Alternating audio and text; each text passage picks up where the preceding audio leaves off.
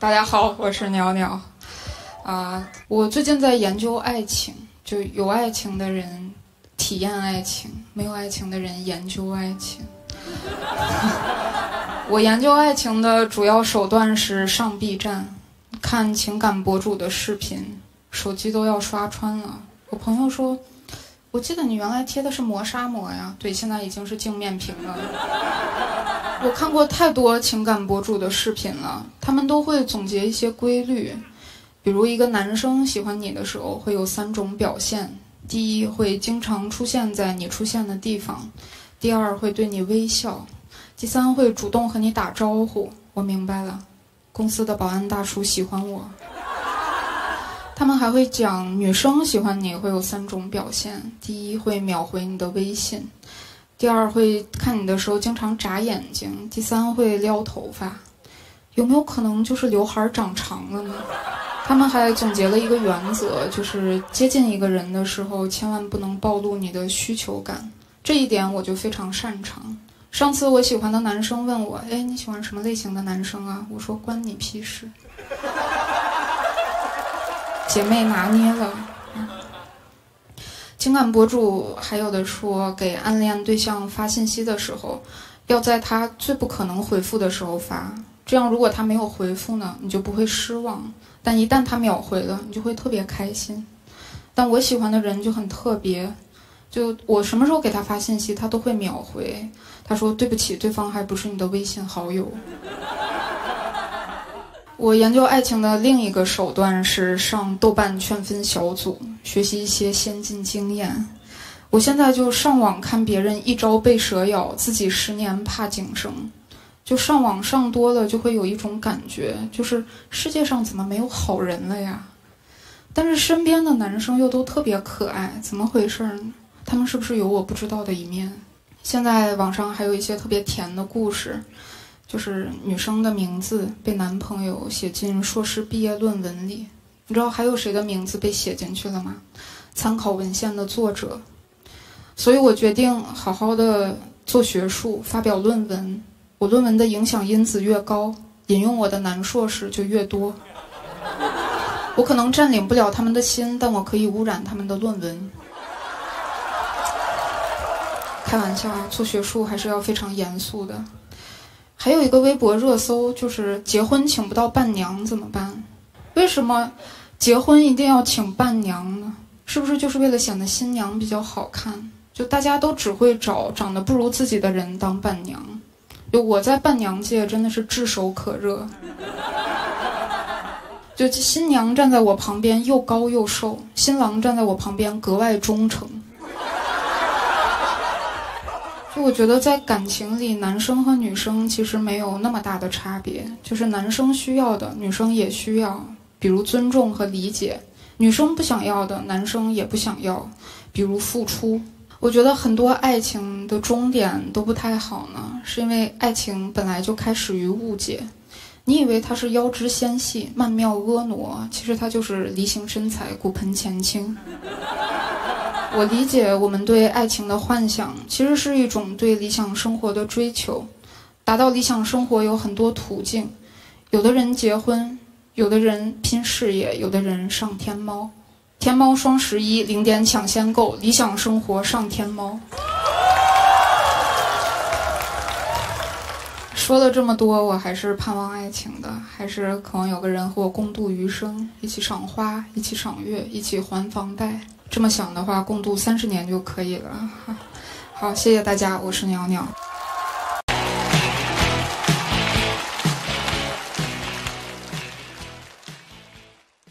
大家好，我是鸟鸟。大家有没有听过一个词叫体相障碍？体相障碍是一种认知障碍，通俗的说就是一个人其实不丑，但是他觉得自己长得丑。我想去医院看一下，我有没有这个毛病，又怕医生说我没有。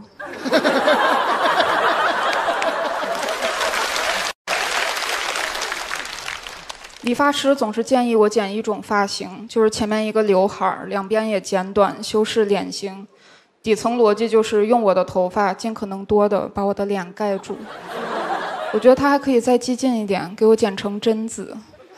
我觉得贞子可能也只是一个自卑的女生，就这么打扮是她的一种防御手段，用来安慰自己。别人见到我就跑，肯定不是因为我的长相，只是因为我的穿搭风格。从小就知道我长得挺普通的，因为我妈天天跟我说：“女儿啊，你得好好学习，女人不能要一头没一头。”我后来就只好考上了北大。我是考研进去的，复习期间我怕考不上丢人，就不敢告诉别人我考的是北大，我就只能说我考的是清华。但上北大也并没有改善我的处境，做一个长相普通的女生仍然非常难，就是你好像做什么都不对，你不打扮吧，人家说没有丑女人，只有懒女人。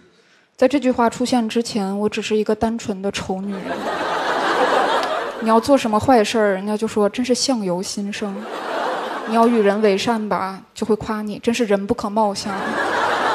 我要说我觉得自己挺好看的，那你得有点自知之明；我要说我觉得自己不好看，那你得接纳自己。还有大家平时晒的图片也都太好看了，什么时候能晒一些既彰显个性又不涉及美丑的东西，比如指纹？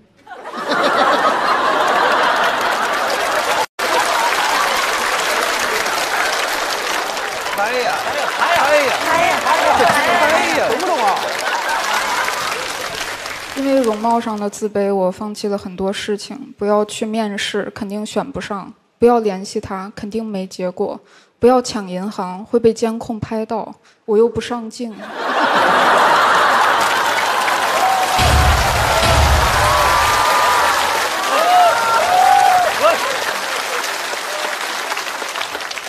但长成我这样也不是完全没有好处。我经常示弱撒娇，未经允许就吃男生的冰激凌，但从来没有一个人说我是绿茶。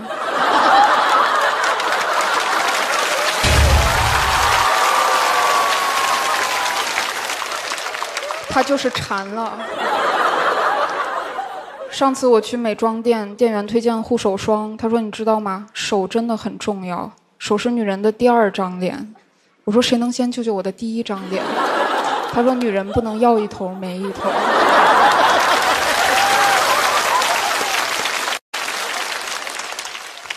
世界对普通人来说是很现实的，就是你必须具备功能才有存在的价值，但美人只需要存在就可以了。你不会见到一个人说这个花瓶保温吗？就我知道，美人和普通人面对的世界是完全不同的，连死亡都无法消弭这种差距。上世纪八十年代，在我国西部出土了两具三千八百年前的人类遗体，人们把它们命名为“楼兰美女”和“干尸二号”。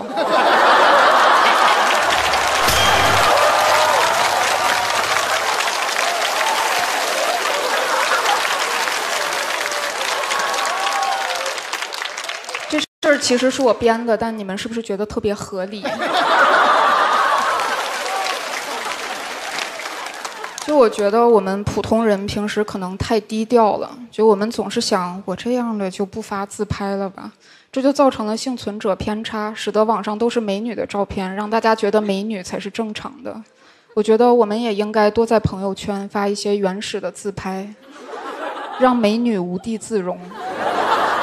我相信，只要我们团结起来，勇于展示自己，总有一天，人们都会关闭朋友圈。谢谢大家，我是鸟鸟。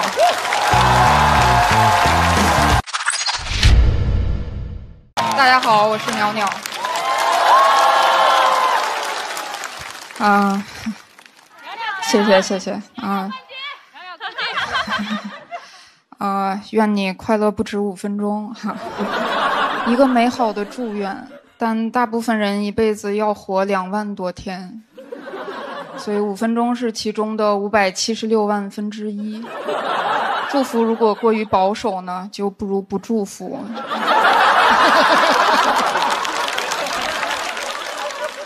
你这就相当于跟人说恭喜发财不值五毛钱。但我也理解，因为快乐其实不是一件容易的事儿。反正在我家，从小我一快乐，我妈就会跟我说别嘚瑟了。我考了一百，我妈就说小心乐极生悲。我要考了九十九，我妈就说你看乐极生悲了吧。我妈总是很怕我乐极生悲，笑死！我现在根本就不乐。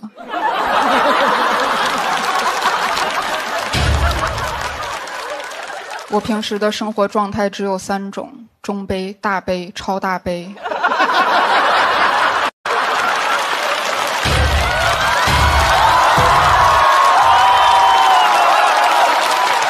两小时差不多。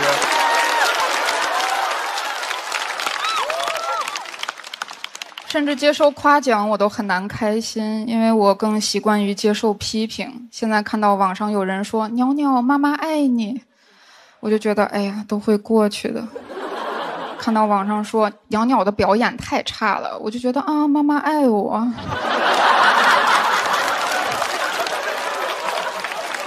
人们都说小孩无忧无虑啊。但我当小孩的时候也没有快乐过，因为我从来没有叛逆过。我最叛逆的行为就是和我妈讨论其他小孩有多叛逆。我最叛逆的想法是有没有可能纹身，但不被家长发现？有没有那种肉色的纹身，或者在胳膊上纹一个蚊子包？到了冬天，别人问这个天气有蚊子吗？我就说不是，这是我的纹身。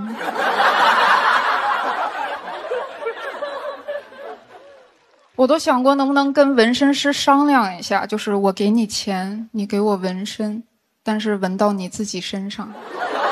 然后我想跟同学炫耀的时候呢，你就过来一趟。总之，我从小是个比较中规中矩的人，长大了也比较内向。但有网友说，真正内向的人呀，也根本不会上台。在这里，我想说，对我就是装的。内向说演出来的，他们都是来争大王的，只有我是来当影后的。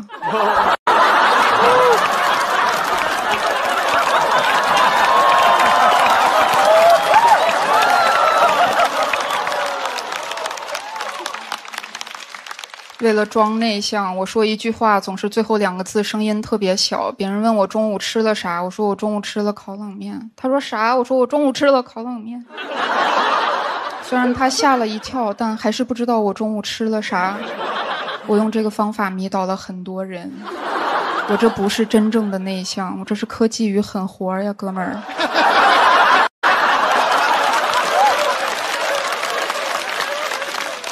还有人问我是不是李诞的妹妹，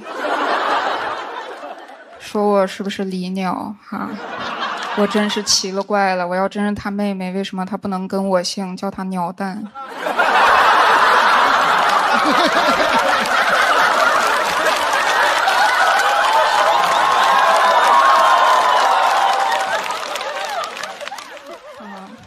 你们看，网上其实有很多积极的声音，但我记住的只是这些。朋友说我是个悲观的人，我不这么认为，我认为是其他人过于乐观了。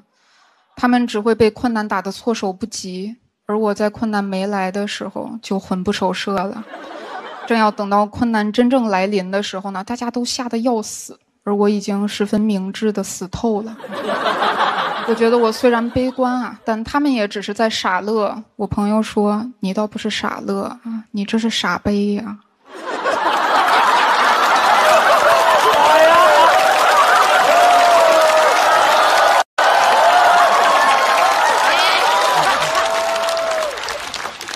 在我这种悲观的人眼里啊，快乐基本也就两种情况啊，一种是应该干啥但不用干了，或者不应该干啥但干了。我是说在合法的前提下，比如说现在你觉得应该给别人投票，但你没投；或者你觉得不应该给我投票，但你投了，你就会觉得快乐。不但你们快乐，我也会感到快乐。我最快乐的时候其实是闹钟响了，但我把它按掉。但我选择的是五分钟后提醒我，这五分钟是最快乐的。所以快乐其实很简单，只要你上班可以迟到十分钟，你就可以快乐不止五分钟。所以最后希望大家凡事都往好处想，尽量傻乐，不要傻悲。谢谢大家，我是鸟鸟。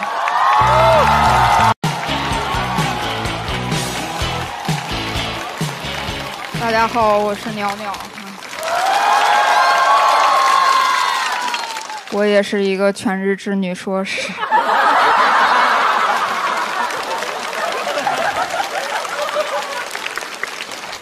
我之前一个人在上海居家了两个月，怎么说呢？我现在特别热爱社交，因为一个人居家真的非常难熬。我之前完全不会做饭，有人问我说：“你一个女孩子，难道之前没玩过厨房玩具，没玩过过家家吗？”我也玩过家家哈，但因为我从小就话少又懒得动呢，我都是演爸爸。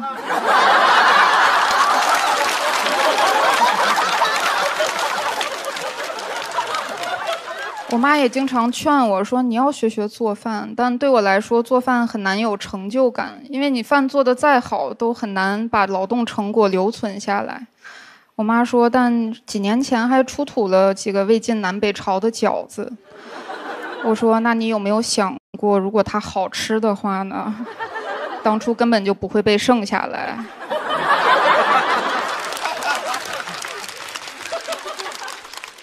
总之，我平时都是点外卖，真到自己做的时候才知道和别人差距有多大。别人都会一些拿手菜，会说这个菜我特别拿手，我只能说这个菜我非常棘手。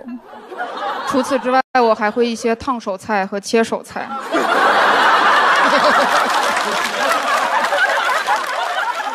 除了操作上的困难，我还缺乏常识。我在家用平底锅小心翼翼地做了一周的炒鸡蛋，才发现要做一个成型的鸡蛋饼呢，是要加面粉的。我知道了这个诀窍，又把饼做得太厚。那天我打开一个五分钟快手菜视频，然后在厨房里忙活了两个小时，最后做的那个鸡蛋饼外焦里生。外面已经焦黑了，切开里面还会流汤，外有致癌物质，内含沙门氏菌。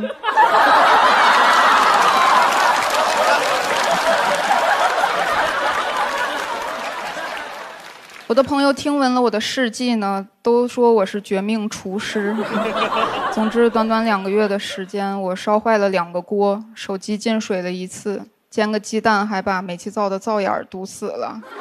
我总结出了规律：我干的活越多，我家能用的东西越少。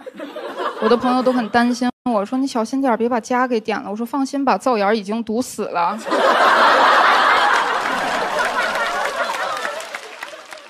最让人挫败的是，经历了这种种的困难呢，我做的饭仍然非常难吃。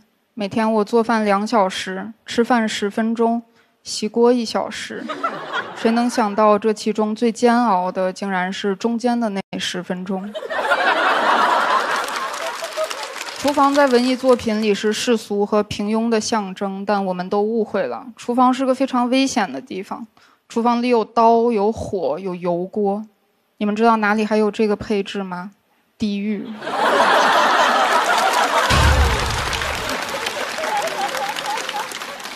这也就是我对厨房的感受，我也理解了为什么大家去这两个地方用的动词都是同一个。所以当别人问我你下厨房吗，我都会说我下地狱。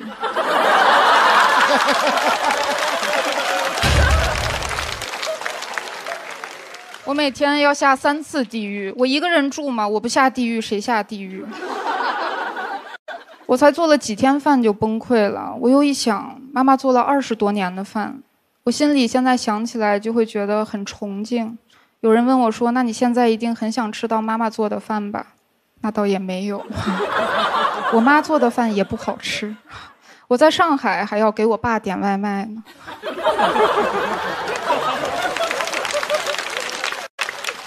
也有朋友安慰我说：“你不会做饭呢，正好筛掉了一批不合适的男生。”我说：“对，我筛掉了一批需要吃饭的男生。” 教育部发布了新的劳动课程标准，从今年九月起呢，小学六年级的学生也要会做三道家常菜。怎么说呢？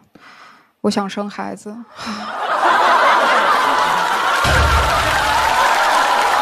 开始删了，行了。你们也知道我们的比赛压力很大，所以我昨天请了几个演员朋友哈去我家吃饭，时间应该也差不多了。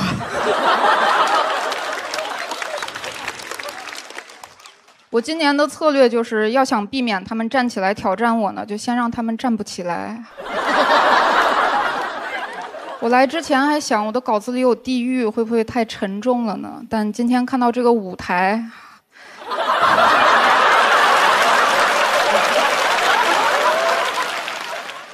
所以我现在心态非常的平稳啊，只有我，我只有两条路啊：晋级上天堂，淘汰下厨房。上天堂！谢谢大家，我是娘娘。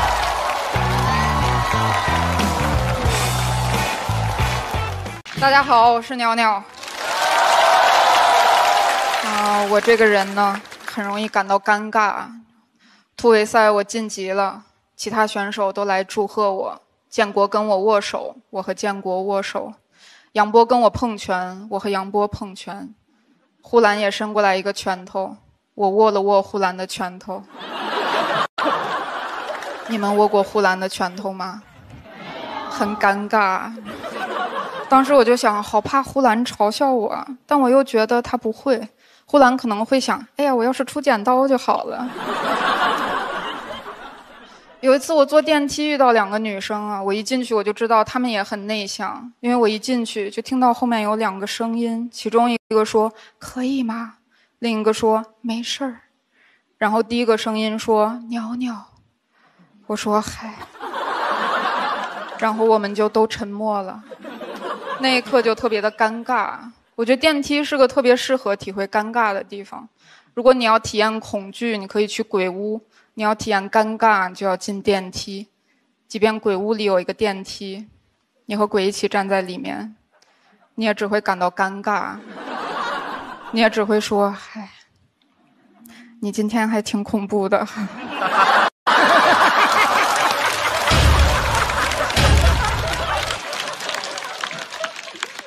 我也很怕坐别人的电动车。因为我不知道该抓哪里。有一次我坐中介后面，就只能抓他衬衣的两边，他衬衣又很紧，就很难抓。他车又开得很急，我就说不好意思，您能开得稳点吗？他说你能不挠我了吗？我就明白古人为什么喜欢骑马了，因为骑马骑马能抓呀。对我最近写的梗就是这么的抓马。还能这么来？因为怕尴尬，我就经常一个人待着。我就想，一个人待着总不能尴尬了吧？直到有一天，我投屏投到了邻居家。我正奇怪呢，为什么电视一直加音量还是没有声音啊？小区群里一个大哥已经崩溃了，说别投了，已经要聋了。他还在群里发了我电脑桌面的截图，那一刻我就明白什么是精神走光。当时我看的是脱口秀大会，大哥还说这节目营销也太厉害了，没人看也不能硬往人家里投啊。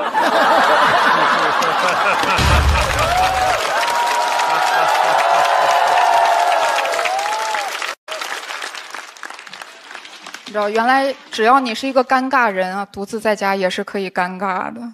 我就很羡慕那些大爷大娘，他们就不太会尴尬，他们很自我。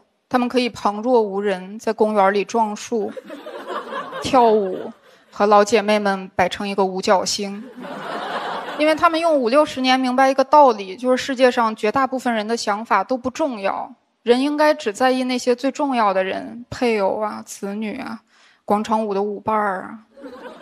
我觉得他们活得比年轻人更平和、更洒脱、更明白人生的意义。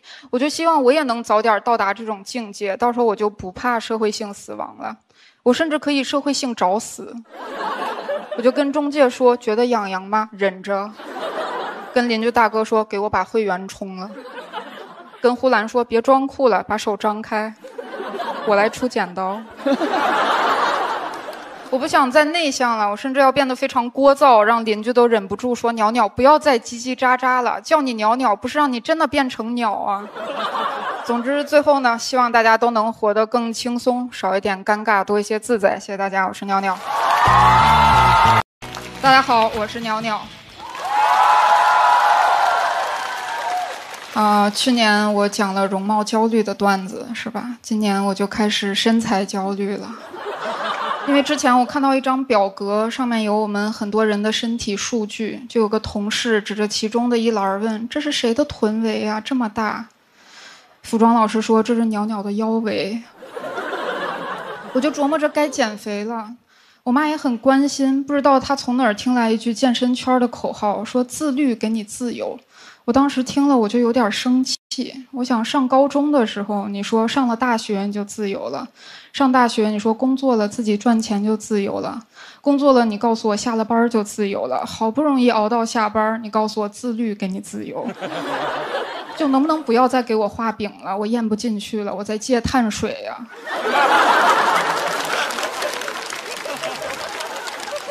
我说我一个搞脱口秀的，我不靠脸吃饭是吧？我平时的工作就是搞创作。我妈说创作怎么了？很多作家也都在健身呀。你看人家海明威是吧？茨威格。我说妈妈，你是真的会举例子，死的比这俩惨的作家都不多呀。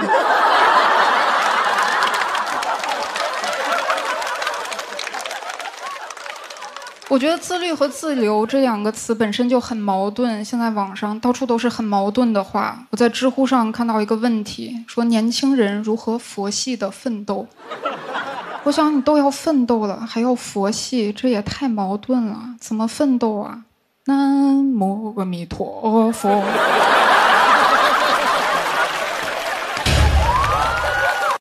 我觉得“自律给你自由”这句话，它真正想表达的是好身材能吸引异性，健身有助于求偶。所以想到这里，我就去健身房了。我是为了去吸呃，我去 积累素材。我早就知道健身房是当代著名的消费陷阱。果然一进去，就有一个教练要给我卖课。他说：“你的体态有问题。”我说：“对，我圆肩驼背，骨盆前倾。”还有膝超伸的问题，整个人看起来没有自信，再不健身就完了。教练说：“啊，你也学过 PUA 呀、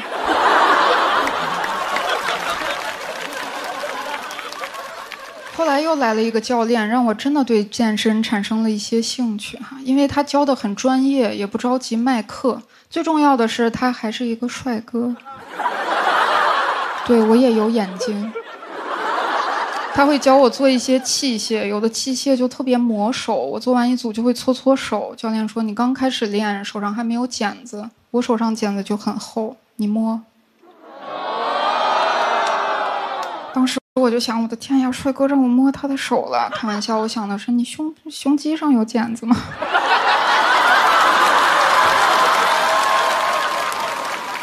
然后就摸了嘛，就买了一万块钱的课。有的时候你明知那是消费陷阱，但是当陷阱里站着一个帅哥的时候，你只会感到喜悦，你只会想太好了，天上掉陷阱了。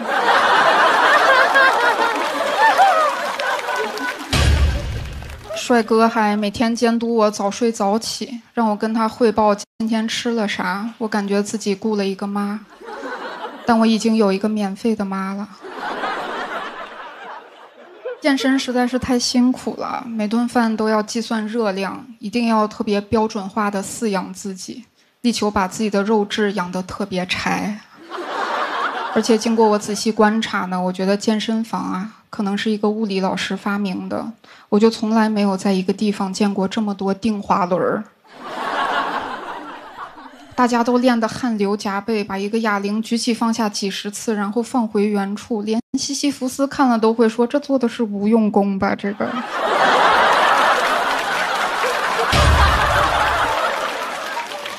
最怕的是你刚努力了两个月，好不容易有点成效，结果遇到一个好久不见的老朋友，见你第一句话就是：“你是不是胖了？”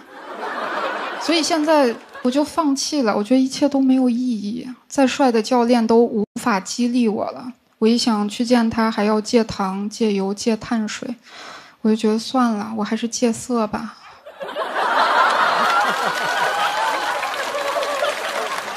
自打办了健身卡，身体没有变健康，灵魂得到了升华。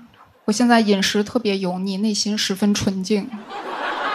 我也理解了自律给你自由的真正含义，就是只要我自律的不去想胸肌，我就可以自由的吃炸鸡。谢谢大家，我是鸟鸟。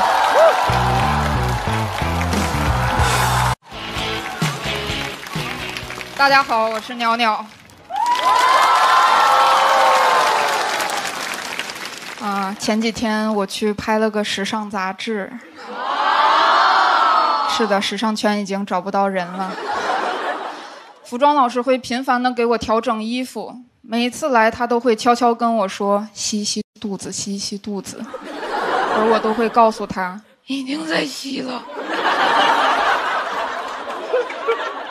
很多时候就是这样，你以为我在躺，其实我已经在卷了。今天我们聊躺和卷的话题，躺和卷怎么选？这个题目就给我们一种假象，好像我们有的选。我们之前思考过那种电车难题，是吧？一条铁轨上躺着五个人，一条铁轨上躺着一个人。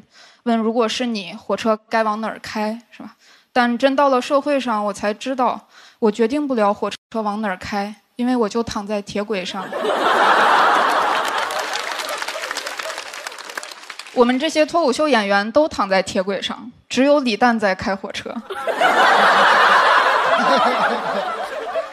他想压谁就压谁，我们被李诞压，李诞被网友骂。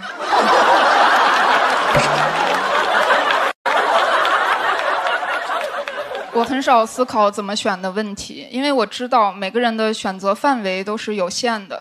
小时候，妈妈领着我进小卖铺，问宝贝儿：“你想吃薯片还是辣条呀？”我指着老板背后说：“妈妈，我想要那个电视。”我妈说：“我是不是又给你脸了？”这也让我想起我学二胡的过程。在我小学二年级的一天，我妈问我：“宝贝儿，你想学二胡吗？”这就是我人生面临的选择。我妈没有问我在钢琴、吉他和二胡里你想学哪一个，她问的是二胡你想不想学。在二年级的我听来，这句话就是这个脸你想不想要？所以我就被迫开始学二胡，学也学不在心上。每天我妈上班前会跟我说。我去上班了，你自觉点儿，该干啥干啥。我就知道，我该看电视了。但我也没办法踏实的看，我会焦虑自责，会想我为什么这么不自觉，所以我就会一边看电视一边拉二胡。我给电视配乐，那时候在播《家有儿女》，有一集他们一家人聚在一起吃饭，夏东海不在，我一拉就感觉夏东海再也不会回来了。但我卷了很多年二胡，好像也没什么意义，因为二胡不是一个适合展示的乐器，也没有办法吸引异性。你能想象吗？两个男生走在街上，突然一个碰碰另一个说：“哎，两点钟方向，两点钟方向，有个女生在拉二胡，你有零钱吗？”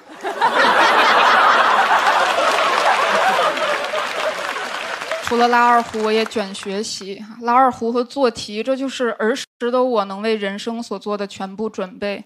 所以现在我的思维很简单，就是遇到困难就想刷题。包括参加脱口秀大会，我也总想，如果有一套真题刷一刷就好了。最好有一本五年大会三年模拟。每次主题赛宣布主题，我听到的仿佛都是字数八百，文体不限，诗歌除外，不要退赛。有时候还有附加题，是吧？已知云南白药口腔修护含漱液，搭配活性炭牙膏，帮助修复口腔黏膜损伤。问：如何将以上信息巧妙地融入段子？这道题我已经答完了。有的时候如果不会做呢，把题干抄下来也能得分儿。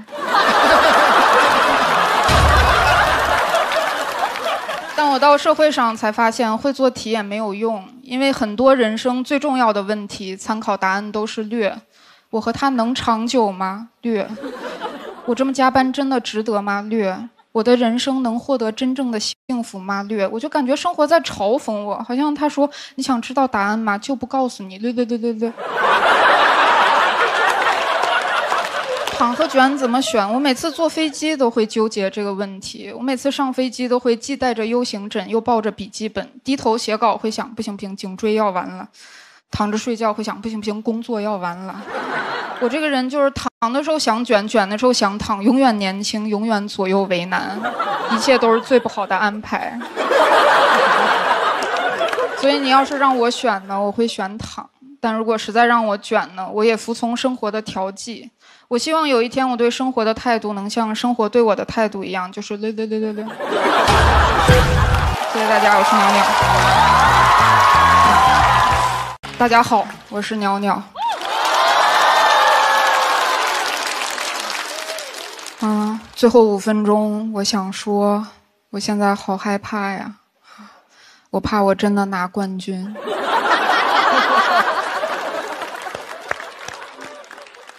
因为我觉得我的能力还不够，此外，我也不想成为史上评分最低的一届脱口秀大会的冠军。那样的话，我就是最水的一届冠军，我就是一个水军。但我要是没有拿到，我就连水军都不如。我怕我要是拿了冠军，以后就再也听不到实话了。观众要是笑了，他们就说因为我的段子高级；观众要是不笑，他们就说我的段子太高级了。我觉得段子没有高级低级之分，我的段子也并不高级，他们只是比较完美而已。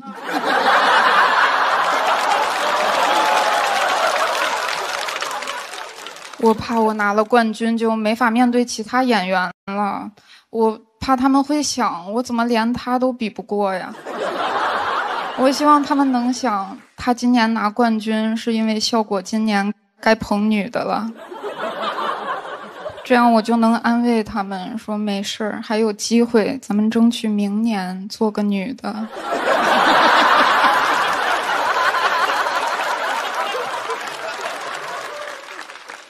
我这个人就是很容易焦虑，好事儿来了我都害怕。为了克服这一点呢，我看了一本书，叫《焦虑的意义》。看到第二百九十四页，终于找到了应对焦虑的方法。书里说，幽默可以对抗焦虑。原来我之所以焦虑，是因为我还不够幽默。看完我更焦虑了。有的时候我太过焦虑，连淘汰了的演员都看不下去了，都来安慰我，还帮我改稿。我觉得他们都好善良。我也好善良，我都不嫌弃他们。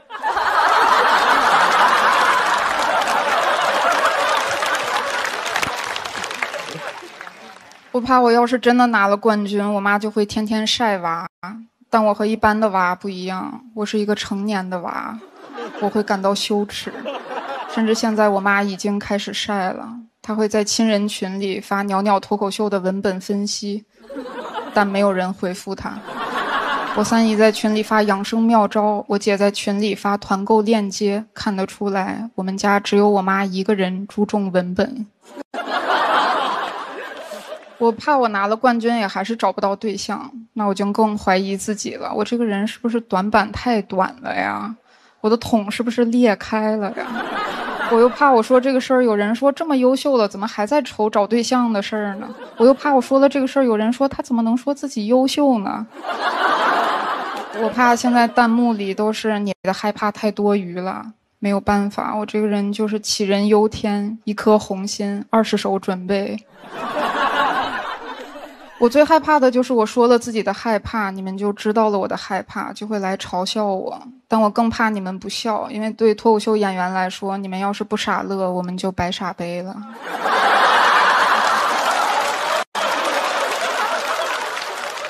不说了，不能再说我怕拿冠军了。再说下去，大家就会觉得我装，觉得我矫情。最重要的是，怕什么就会来什么。谢谢大家，我是鸟鸟。大家好，我是鸟鸟。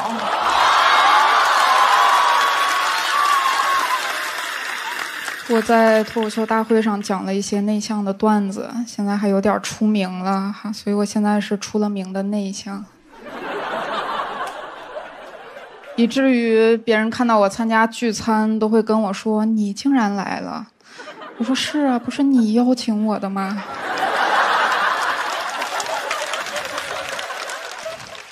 他说：“但我没想到你真的会来呀。”当时空气安静了一分钟，轻轻松松又产生了一个社交名场面。人们觉得内向的人好像完全不出门，但其实内向的人也是会户外运动的。有一次我去玩飞盘，网友说竟然连鸟鸟都去了。我觉得很奇怪，飞盘狗都能玩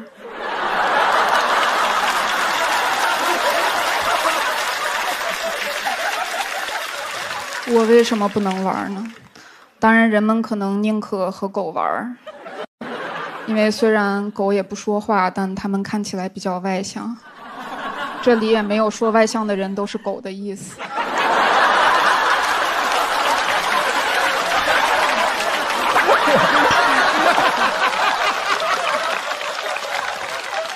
还有一次在健身房，我练得满脸通红，面目狰狞。突然有个人走过来，指着我说：“他是鸟鸟，他是鸟鸟。”当时我就想，糟糕，被发现了。但我灵机一动，突然大笑，我说：“哈哈哈哈！没错，我就是鸟鸟。”那个人说：“对不起，是我认错了。”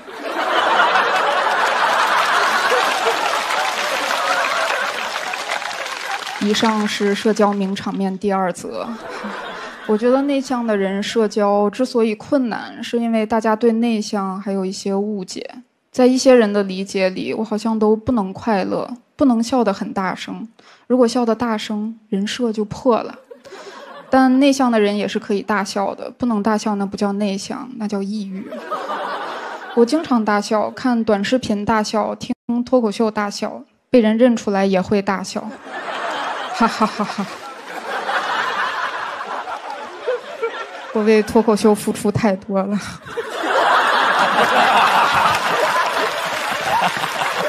很神奇。其实内向的人只是不太喜欢社交，不是不能社交。内向和社恐是有区别的。真正的社恐、密恐、恐高、洁癖、强迫症，那都是病。内向又不是病，病至少是可以治的。内向只是一种终身伴随的性格缺陷，不影响寿命。我甚至认为，我们内向的人活得更久。万一活得短呢？我们也不会到处说。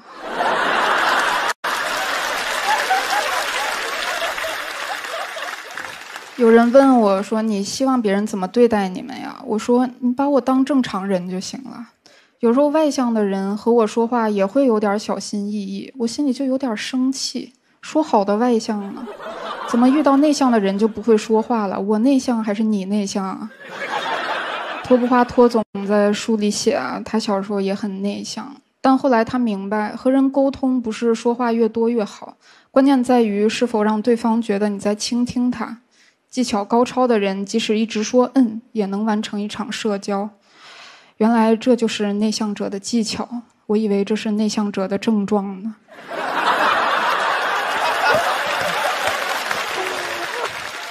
你想想，别人问你吃水煮鱼还是小龙虾，你说嗯；别人问你喝奶茶还是喝可乐，你说嗯；别人问你是不是不想跟我说话呀，你说嗯。你是完成了一场社交，你也没有第二场社交了。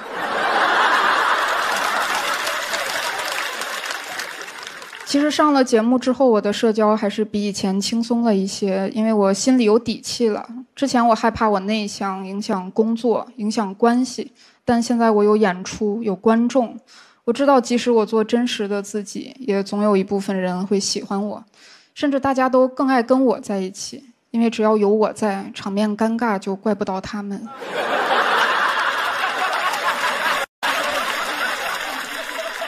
最后我想说，虽然我话少、内向，会突然哈哈大笑，但我是个正常人。谢谢大家，我是正常的鸟鸟。大家好，我是鸟鸟。我是个内蒙人，我的老乡李诞、Rock 和杨蒙恩都在讲脱口秀，所以我想我可能也可以。你们可能看得出来，我的性格特别的活泼。我从小就这样，爸妈为了改变我，让我学了音乐，我学的是二胡。世界上最欢快的一门乐器。小时候大家学的都很高端，钢琴、单簧管、小提琴，只有我拉二胡。很多小朋友嘲笑我，除了我最好的朋友，学的是唢呐。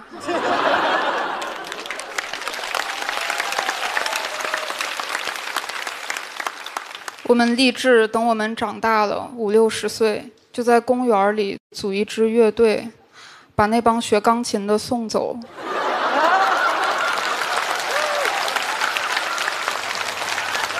这个劲儿太独特了，感觉他没有情绪，然后像一个 Siri 一样在念。我这个性格没有办法演奏特别欢快的曲子，你们可能都听过一首曲子叫《赛马》。别人拉赛马，就让你觉得那些马都活力四射、热爱比赛；我拉赛马，就让人觉得那些马 比什么赛呢？每匹马都是要死的。由于我性格比较内向，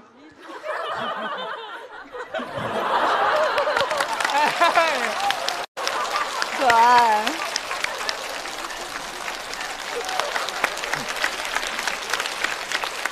由于我性格比较内向，所以我常常没有什么存在感。刚才在卫生间，我把手伸到水龙头下面，都没有手都没有水流出来，这是什么破包？我就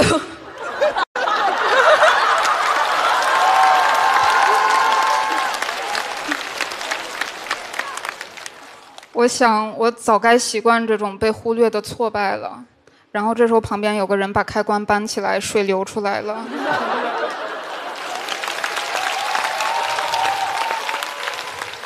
我也不喜欢和人打招呼，因为总要说一些没用的话。来了，吃了吗？天气不错哈。谁会真的关心这些呢？什么时候我才能问一些我真正在乎的问题？比如，杨澜老师你好，我有可能得到您的拍灯吗？哇！Oh my god！啊！他那个有危险，我感觉可能是被这种怪物打走。太空脱口秀，学学学学，学习一下哇！啊，我这样的人也很难谈恋爱，因为我很难判断对方是不是喜欢我。书上说，如果对方对你有好感，他看你的时候瞳孔就会变大，但是我没有办法毫无理由的看别人的眼睛，我就上网查询了验光师资格证的报考条件，到时候就来测个瞳距。大夫，我多少度？不重要，你不爱我。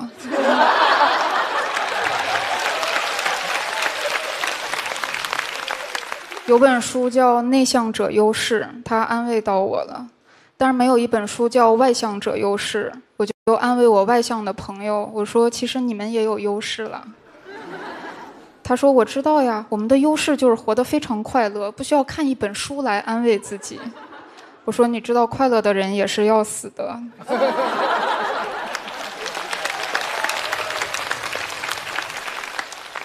我特别在意别人的看法，甚至超过我个人的感受。即便现在我被一只老虎咬了，都很难立刻喊人来救，因为如果没有人救，我只是可能会死。可是，一旦有人救，我还得跟他打招呼。哇，这个很好啊！这时候，如果武松从我面前走过，我都会想，我应该叫他吴老师，还是叫他松哥？就如果叫吴老师就太疏远，但是叫松哥又太亲切了。武松可能也想，他身边是不是有一只老虎？但是他没有叫我。如果我贸然的过去，会不会显得我不信任他的能力？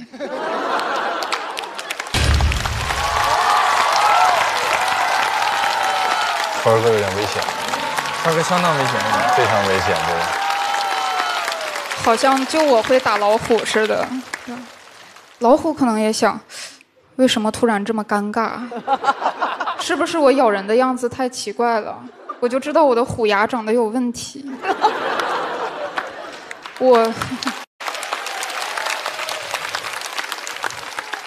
我很想做一个外向的人，因为外向的人就像太阳，热烈明亮，引人注目；内向的人就像月亮，只要有太阳在，没有人能看得到它。到了晚上，太阳休息了，月亮还亮着，因为他在琢磨白天的事情，根本睡不着觉。他在想，我可能还是应该叫他吴老师。谢谢大家，我是鸟鸟。大家好，我是鸟鸟。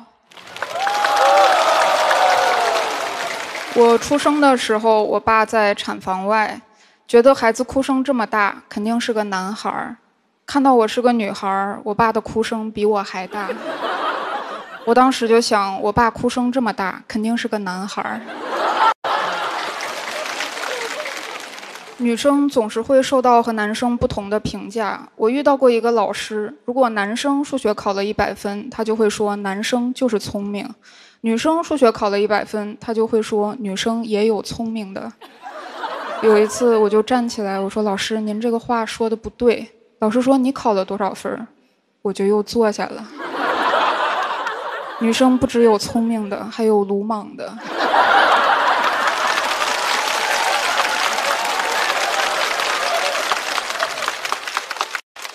好像大家对男生就比较宽容，不管一个男生学习多差，都有人说：“男孩嘛，有后劲儿，上了初中就好了；男孩有后劲儿，文理分科就好了。”连我奶奶都说：“你爷爷有后劲儿，坟头草老高了。”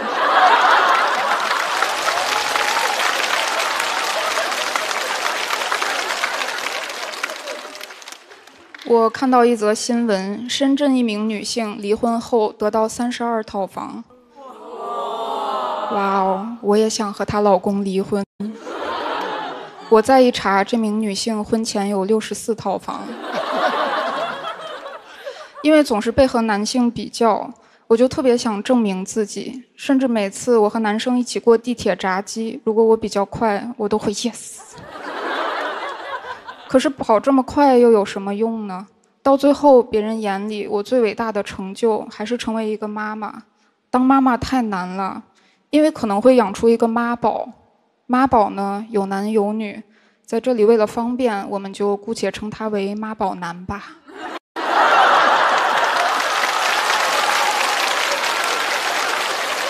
哇，都还顶啊！这么好。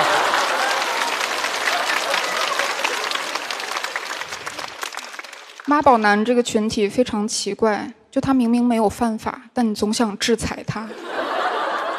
一个成年人总是把妈妈挂在嘴边，你说他是怎么被教育出来的？是不是他妈妈天天对他说：“孩子，以后在外面提我好使。”那我们应该怎么鉴别妈宝男呢？我觉得你就可以直接问：“你是妈宝男吗？”我不是。你为啥不是？我妈说我不是。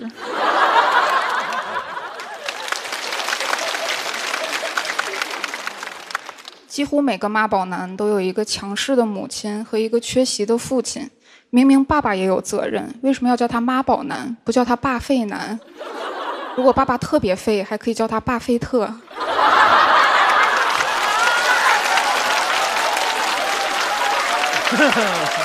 鼓励一下。而且，即便妈妈当的好，又能怎么样呢？能把孩子当成自己的作品吗？每次我妈跟我说“你就是我最好的作品”，我都说“妈，你这就有点物化女性了”。我希望在未来，妈妈这个职业可以有更为科学的晋升机制。就是如果我拿了全国奥赛金奖，那么我的妈妈可以有机会跳槽。成为易烊千玺的妈妈，易烊千玺拿了表演类的奖项，那么易烊千玺的妈妈可以得到晋升，成为易烊千玺的爸爸，实现真正的自由。谢谢大家，我是鸟鸟。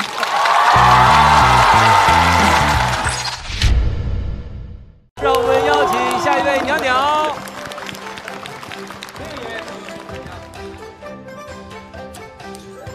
大家好，我是鸟鸟。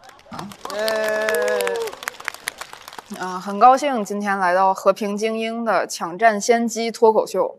今年的脱口秀大会第五季呢，我也靠着文本好，侥幸苟到了决赛圈啊，获得了第二名。后来我还走了红毯，拍了照。没想到不仅苟进了决赛圈，还苟进了时尚圈。那个红毯照片大家也都看了吧？哈，很多人看完心底都有一个疑问：这袅袅的文本得有多好呀？和平精英对我来说不仅是游戏，更是我的社交工具。就像马上要过年了，是吧？一大家子人都要聚在一起，经常要分好几桌坐。这个时候，我就不仅会社交恐惧，还会产生选择恐惧，因为我真的不知道该选择在哪桌社恐。现在好了，我就可以陪着上大学的表弟一起组队打和平精英。我游戏打得不好，经常需要他保护我才能吃到鸡。可以说，在现实中他是弟弟。但在游戏里，我才是弟弟。刚开始玩这个游戏的时候很不适应，每次都是在屋里搜着东西，一听到枪声，我就想在窗户旁露头看一看，一露头就让淘汰。哎，可能这就是枪打出头鸟吧。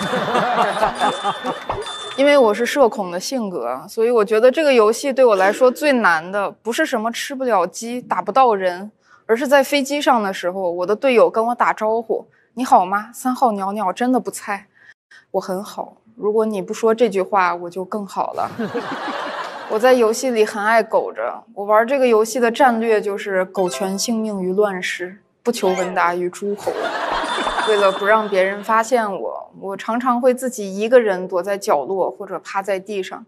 俗话说，躲得过初一，躲不过十五。但去年我硬生生从初一躲到了十五，从春节躲到了元宵。避开了无数场战斗，我觉得在和平精英里，没有人比我更懂和平。真的很喜欢这个游戏，因为只有在这个游戏里，我不用为自己的付出不被看见而难过，因为我的所有付出就是为了不被看见。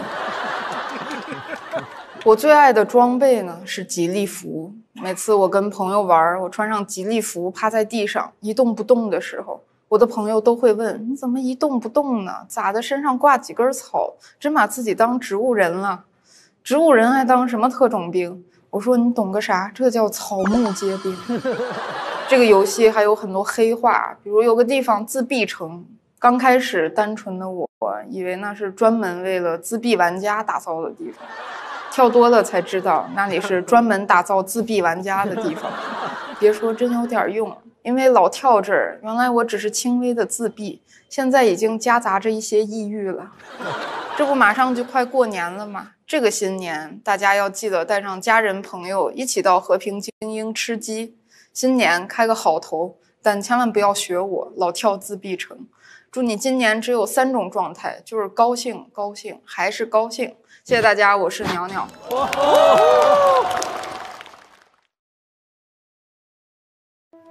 请欣赏诗朗诵《六月的雨》。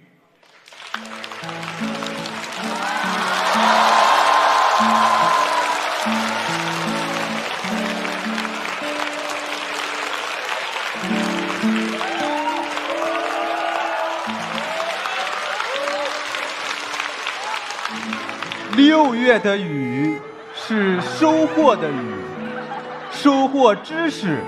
收获友情，收获了网购积分和王者段位，就是没有收获任何一个工作 offer。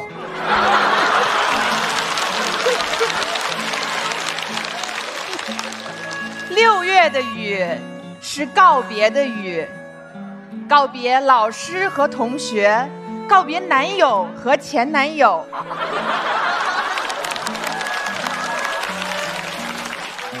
门，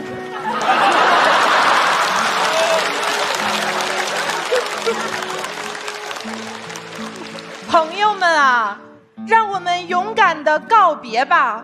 故人已辞，新人更香。旧的不去，新的它就来了呀。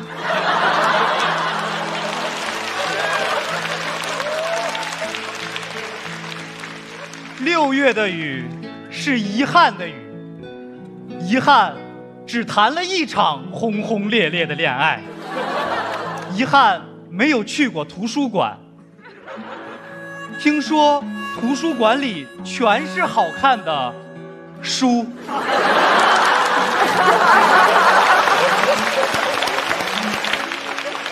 遗憾，时间太短，很多话都来不及。六月的雨。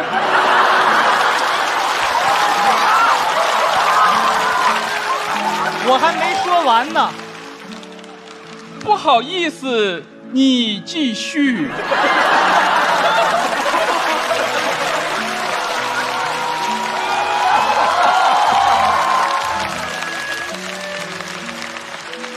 来不及说完，我说完了。六月的雨是一种正常的自然现象，你们在这儿叽歪什么呀？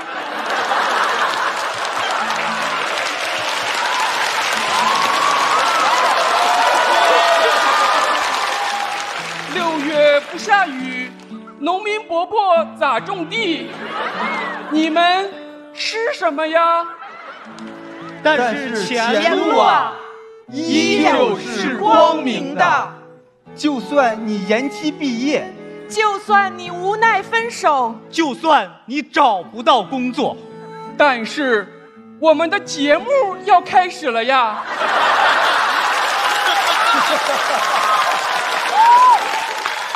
有请李诞。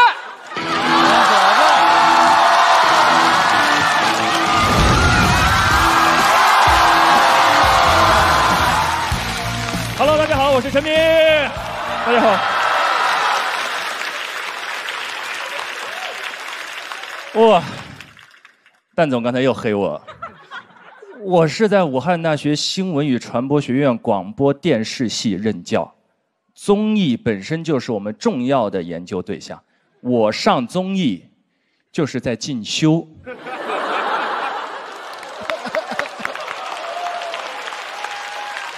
而且，今天说实话，要正式的向蛋总表达一下感谢哈。如实讲，因为我在学校带的那门课的名字就叫综艺节目主持控场艺术，真的，大家网上可查。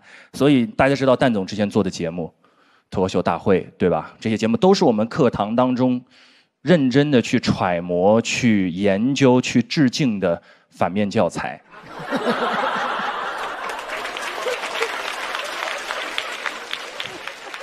他给了我一个封号“五大综艺天王”，惭愧，哪来的五大综艺天王？其他四个是谁？啊，明明就我一个吗？嗯，不喜欢谐音梗，气死你！哎，气死你！嗯。哎呀，已经气不到了。今年呢，我们回到严肃话题，要讲毕业和高校。这个确实啊，今年的毕业生就业形势都不太好。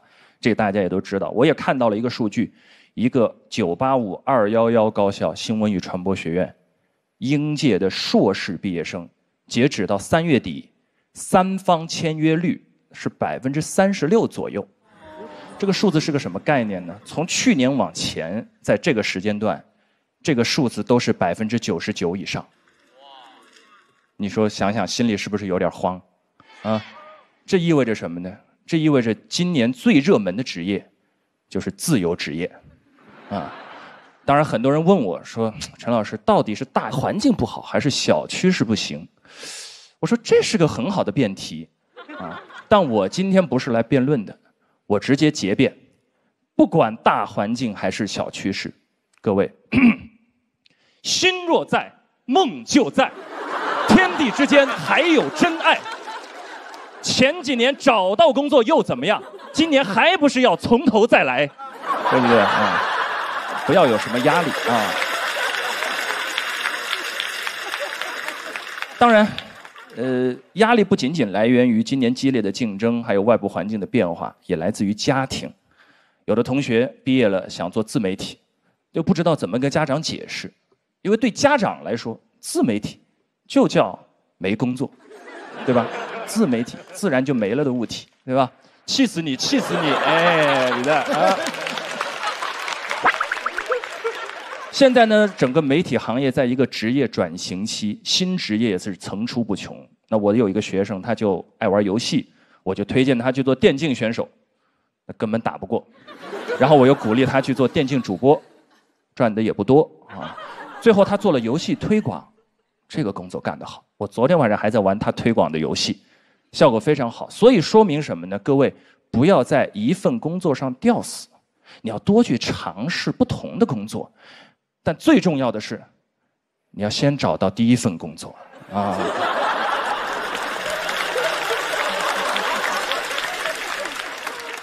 但是有同学说我第一份工作我也找不到，老师有没有什么推荐？有，我会给大家这样一个建议：你可以找一个在你的学长当中跟你的排名啊、绩点呀、情况都差不多的人，你问问他当年是做了一个怎样的准备，怎么找到的工作，薪资待遇又如何？当然，这个只能做一个参考。我有个学生今年就照这个建议去问一个学长，学长很认真的跟他说。你大学刚毕业，我大厂刚毕业，我们都有美好的未来。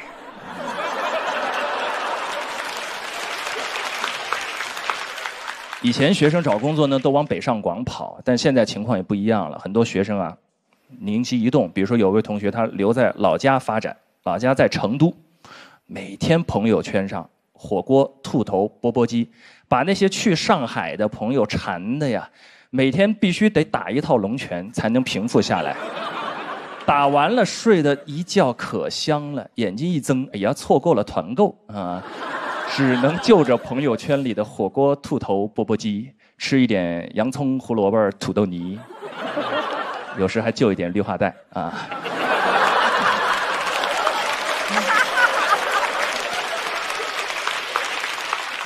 近几年呢？疫情对于整个教学的影响确实很大。我们在高校其实从二零二零年开始也比较普及上网课。有一次我们当时上发声课，上着上着听到了呼噜声，这很痛苦，因为我也不知道是谁，对吧？我灵机一动，我就各位同学注意听，我就在此刻特意跟各位同学讲一讲考试的重点。该画的重点画一下，哎，后来成绩出来，我说这次你跑不掉了。结果一翻，哦呦，三十多个不及格啊！我当时才知道，睡觉的有那么多，打呼的只有一个。嗯。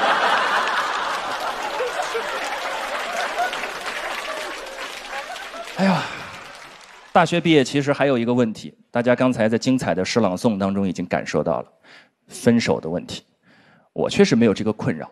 我跟我老婆是读研的时候在一起的，她当时来看了我一场辩论赛，看完之后一见倾心啊。后来呢，我觉得这也是我此生收获最大的一场比赛，赢了比赛，又赢了爱，对吧？后来老婆还问我，说你是因为我才在宇宙中心呼唤爱的吗？我说也不是，我一直在呼唤，只有你搭理我了。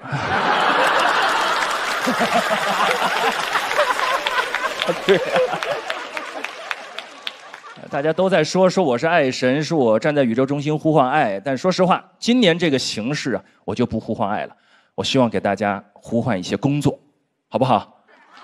各位老板，走过路过千万不要错过，认真来看一看，看看今年这些应届毕业生们，他们多么优秀，他们都是刚刚毕业的啊！给我们的年轻人多一些机会，让我们共度难关，共创未来。因为工作在。心就在天地间，还有真爱，一定能找到各位最终的彼岸。谢谢，谢谢各位，我是陈明。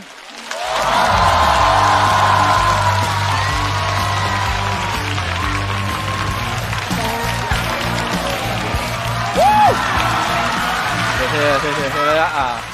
大家好，我是庞博。大家好，我是王建国。我们是日抛兄弟。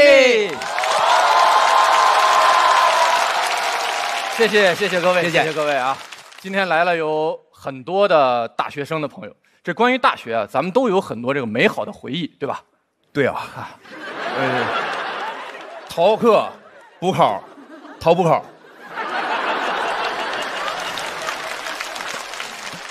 补考还要逃啊！这个很多朋友跟跟我一样是吧？印象最深的都应该是大学毕业那段时间上。大学啊，还能毕业呢？这 个合着你大学没毕业啊？我那个时候正忙着留学呢，谁顾得上这关心毕业呀？你还能留学？留学可难了，一般人做不到的。你首先你至少得挂三科，你没挂科，你就得受个重大的处分。完了，你再跟老师求情，求求了别直接开除，人家同意了，这才让你留学。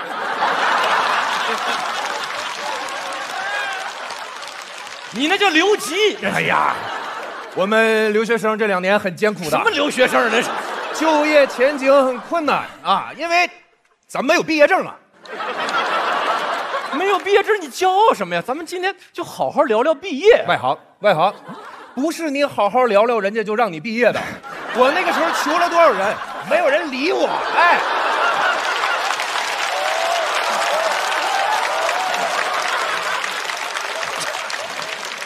行了，行了，行了，行了，这光说你自己的事情。这两年毕业的同学，人家都有一个遗憾啊，很多朋友真的是没有办法到现场参加自己的毕业典礼。你笑话人家干嘛呀？你老实一点，不要想你自己的事情。咱们今天应该给大家再举办一次毕业典礼，给大家弥补这个遗憾。给弥补遗憾。对呀、你想啊，嗯举办毕业典礼肯定需要一个很大的场地，哎那一般都是在学校的大礼堂啊，或者体育馆，对吧？那咱们就在这个体育馆举办毕业典礼，好啊，这样大礼堂就可以腾出来打篮球了。怎么样？为什么不去体育馆打篮球啊？体育馆要举办毕业典礼啊！毕业典礼去大礼堂呀！大礼堂要打篮球啊！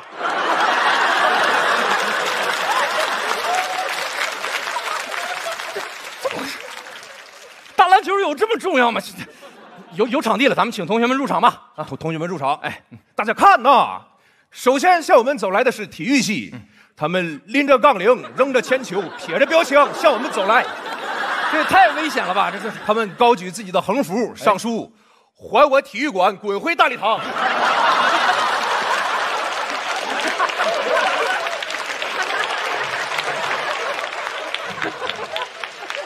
合着你都没跟体育系商量啊？接下来向我们走来的是外语系啊，他们亲切的跟大家打着招呼：“你好，谢谢，恭喜发财。外语系也不让你学外国人的口音啊！”接下来出场的是医学系，他们打着石膏，他们坐着轮椅，缠着绷带。医学系为什么都是病人啊？他们振臂高呼：“体育系别乱扔东西！”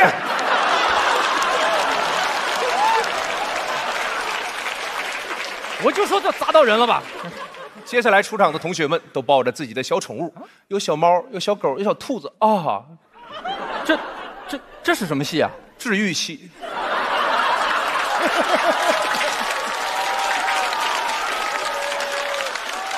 学校没有这种戏啊！接下来走来的是刘恋、鲁豫和杨丽，他们仨怎么来了？这是三个女人一台戏，什么东西？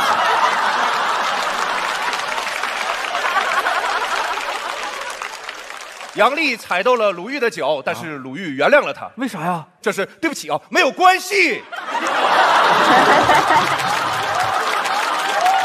这儿，那是王建国，你彻底疯了，对不对？海天蚝油几几瓶，想挤多少挤多少。你喊什么呀？刚才大喊的同学来自广告系。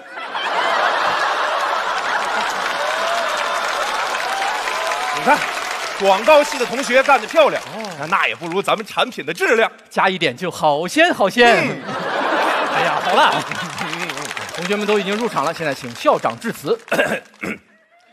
同学们，大家好！看到同学们即将离开，今天我在这里，白发人送黑发人。不会说成语，你就说感动就可以了。我很感动，希望同学们释放以后，毕业以后，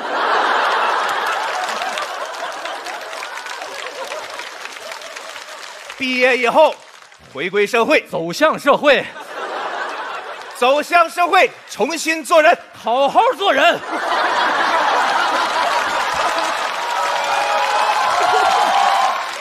校长，你上一份工作，你在少管所干过吧？你这是。大家千万不要忘记我们的校训：三短一长选最长。什么？你们校，你们这全学校都靠蒙啊！最后，预祝大家补考成功。没有人需要补考啊！哎，选最长哦。什么最长啊？什么破校长呢？接下来我们请优秀毕业生代表发言啊！大家好，我来自生物系。我我从小就特别羡慕警察，我想帮他们除暴安良，所以我毕业以后马上就会成为一名警犬。你成为不了。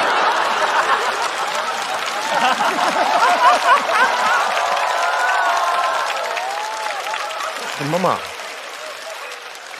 你一点生物知识也没学会啊！我看，你生气也没有用啊！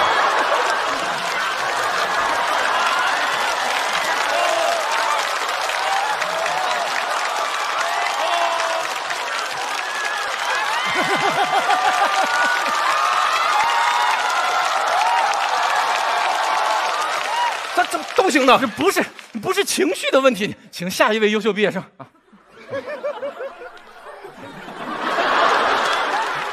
怎么怎么怎么没有声音啊？大家好，我来自航天系。这航天系也不用穿宇航服来吧？别碰，这个很珍贵的啊。这这个宇航头盔有什么来历吗？三十五一天，租的呀。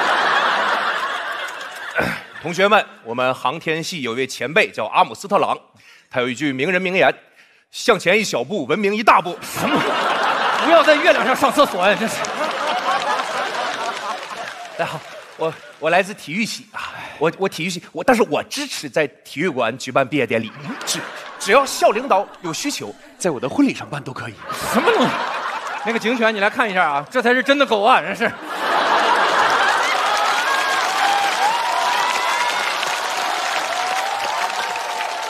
行了行了行了，那个毕业生都发言完了，接下来请校长给各位颁发毕业证。同学，哎，校长好，校长好，要毕业证吗？假证啊？哎哎哎哎，来来来，校长能给你搞到真的呀？这不废话吗？就把把毕业证给我就好了。同学你好，这是你的毕业证。哎，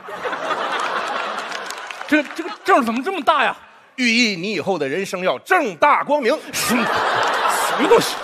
这正常的毕业证就好了。同学你好，哎，谢谢校长。同学你知道吗？这个世界上没有任何一张纸能够对折七次以上。哎哎，不是只有我的毕业证。行了行了，大家都拿到毕业证了，很开心。我们我们最后一起同学再来合一张影吧，记录我们人生中这个重要时刻。我们同学们都会开心的把这个学士帽扔到空中。哦哦哦。接到这个学士帽的人就是下一个毕业的人。哎呀，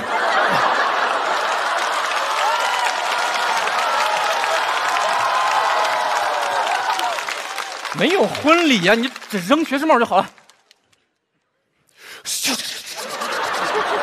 哎哎，你怎么不躲呀？不是，学士帽不是回旋镖，很危险正常扔就好了呀。你事情这么多，正常扔，你扔一个喽，你会扔，你扔一个喽不。是很简单，你就哎呀，毕业喽。汪汪汪汪汪汪！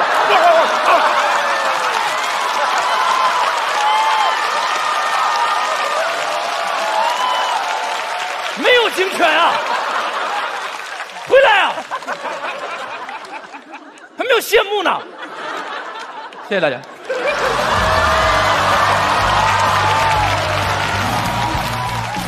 大家好，我是变革。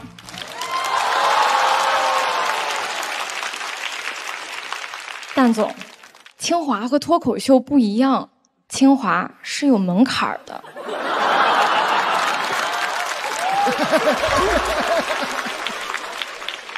开玩笑，能来讲脱口秀还是很开心的。今天的主题是毕业 ing。首先，这叫 graduating，graduating from university。脱口秀你们是专家，但英语我是专八呀。都说毕业是人生的转折点，其实我高中那会儿就规划好要学法律当律师了，只有一件事儿我没规划好，就是我本来想考北大，阴差阳错之下却保送了清华。没有办法，每个人都有自己做不到的事儿，我也不会因此太苛责自己。清华也还行。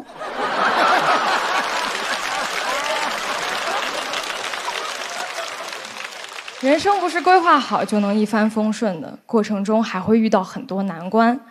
大家都知道，清华校园很美，我也听说了，但我没怎么去过。我因为疫情啊，这四年大部分时间都在上网课。我妈一度很怀疑，清华还能函授吗？家里亲戚也很关心我，变革学习还顺利吧？我说网不卡的时候还挺顺利的。不光我们，老师们也在努力克服这些困难。我们哲学老师在讲台上讲了一辈子课，没想到网课居然适应的还特别快。同学们，今天我们继续来讲康德。刚才讲的这个形而上学，同学们听懂了吗？听懂的在弹幕上扣个一。我们都听懵了，生怕老师来一句：“这本人民出版社的《纯粹理性批判》呀，现在就可以在直播间购买了。三二一，上链接。今年我们很多同学都是在家里线上观看的直播毕业典礼，一边看一边给自己拨穗儿。有的同学忘了定闹钟，一觉醒来，他的青春结束了。我是一个非常看重规划的人，即使毕业后没进律所，那也在我进律所的规划之中。我可以考研、考公务员，gap year 跪在律所门口求一年。讲脱口秀其实也是我的规划，讲的差我就回去找工作，讲的好我就找到了工作。只要我规划的足够多，一切就都在我的规划之中。现在的就业形势确实困难，清华保研的名额变少了，工作不好找。前一阵子，我一份已经收到的 offer 居然被撤了。在我的理解里，发出去的 offer 就是泼出去的水，offer 还能被撤的吗？还有没有 order 了？发出 offer 的机构还是一家律所，一点契约精神都没有。但是回头想想，正因为他是律所，他还不怕被告。本来是一份 offer 的事儿，回头就变成一个 case 了。我是真不敢跟他们杠呀！拜托，我是想当律师，不是想请律师呀。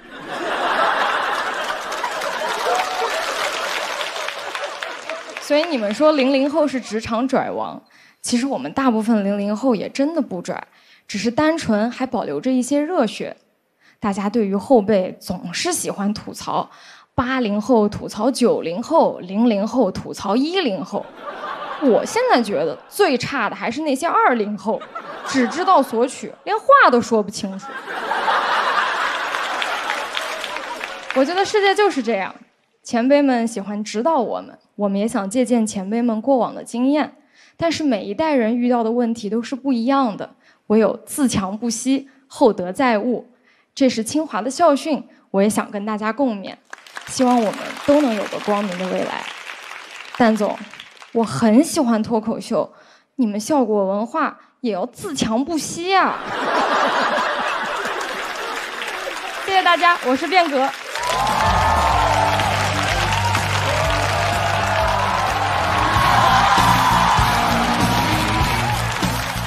大家好，我是刘恋。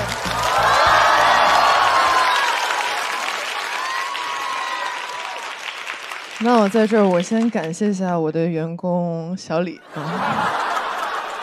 就你知道，我从浪姐下来，我其实就准备回去上班了。然后这时候我就收到了这个脱口秀的邀请，我就说还是小李懂事儿。小李呀，咱就是说，当老板当累了，咱随时回奥美，好吧？奥美是你永远的家。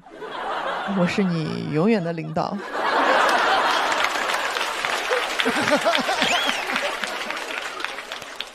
那今天是毕业场啊，节目组说让我要来聊聊毕业的事儿，我说好啊，我高中毕业于成都第七中学。哎，导演说，我们想听北大的。我说北大有啥好稀罕的？北大的故事那么多人都说过了，可是成都七中的故事可是鲜为人知。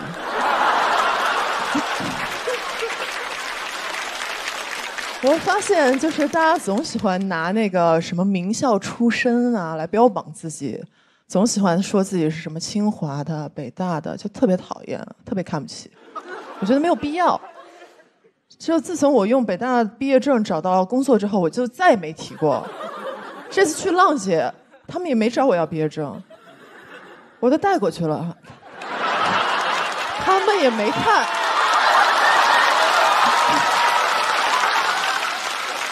白带了。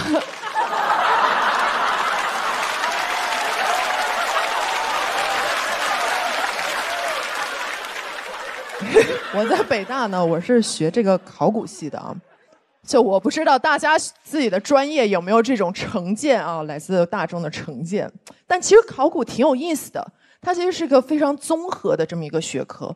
我们既要学器物史，我们要学素描，我们还要学人体骨骼学。就学的很全面。它看上去是一个特别冷门的专业，但是它其实很实用。就这么说吧，就比如说这个时候，如果有一副骨架从远处朝我走来，我一眼就能看出他是男是女。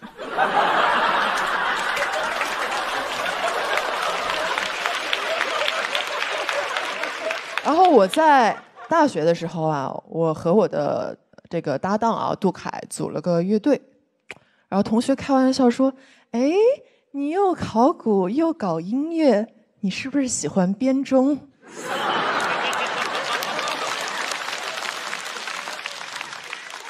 编钟不是我们的风格啊，我们是搞爵士乐的。其实我们做乐队非常辛苦啊，特别是刚开始的时候。那时候我们去酒吧驻唱的时候，我们唱仨小时就给两百块钱，然后我和杜凯一人一百。当时我们就决定，就是这个乐队一定不能再加人了。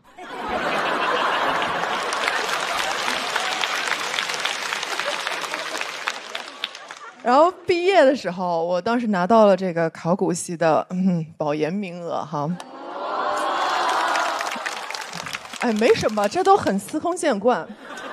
当时我放弃了去这个深圳读研，我留在北京工作和做乐队。然后我搭档听到这个消息的，他就特别感动，他就哇哇大哭在我面前说：“以后演出可以跟我四六分。”然后我说二八，然后他哭得更大声了，一百块都不给我。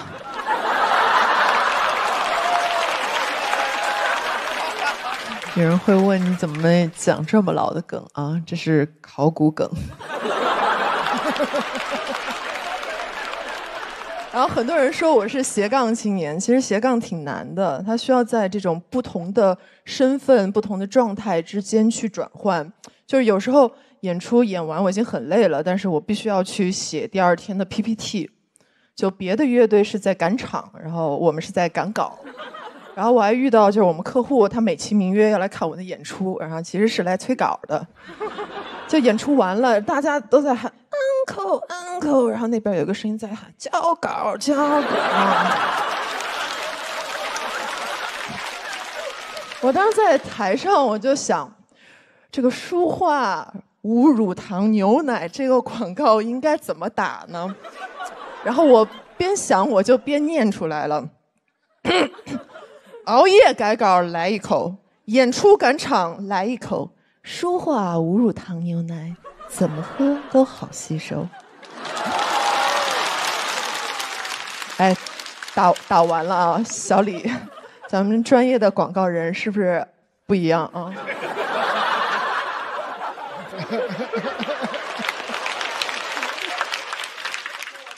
刚刚变革说了清华的这个校训，我也说说北大的这个校训啊，就是博学审问慎思明辨，怎么样？这个就是网上流传的北大校训。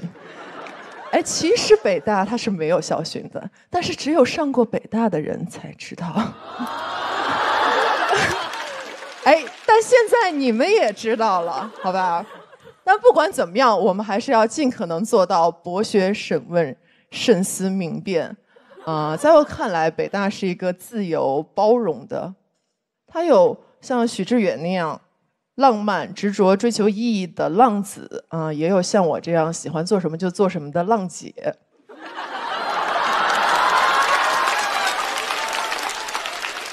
我感觉现在的毕业生，大家好多都很焦虑啊。其实我觉得可以随性一些，做自己喜欢的事儿，嗯，就不要被专业限制。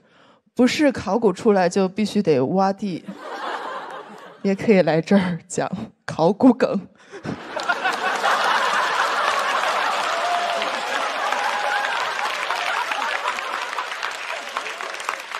然后最后送给大家一句歌词儿，是我毕业之前比较迷茫的时候写的一个，嗯。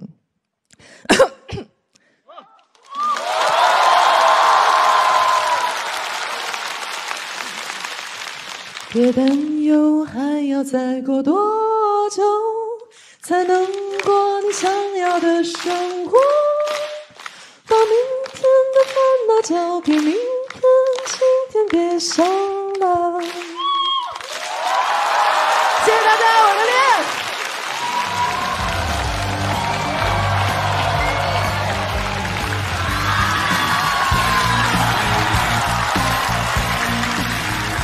大家好，我陈鲁豫。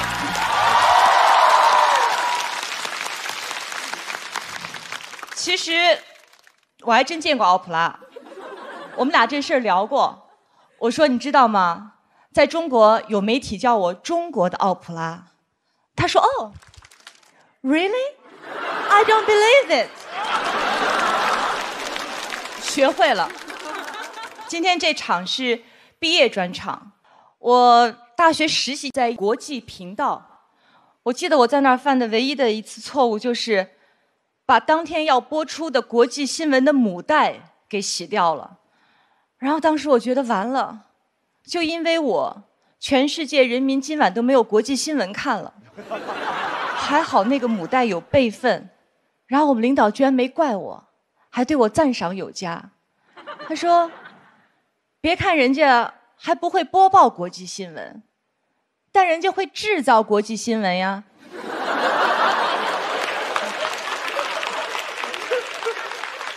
后来，凤凰卫视给我发来了邀约，但我有点犹豫，因为你看跟央视比吧，凤凰当时的平台不大，人不多，然后又人生地不熟的，我觉得挑战特别大。但唯一欣慰的一点就是，工资高了一点儿。然后年轻人就得接受挑战，就喜欢挑战，所以我当时就是要挑战高工资。大家应该也能听出来，就我们那时候就业压力确实没有今天这么大，所以我们的经验对你们来说，我觉得没有什么借鉴的意义。但是进入社会以后，就是会有些你不知道从哪儿来的所谓的过来人，哎，不由分说的就要传授你一点经验。这个就是我今天给年轻人的第一点经验。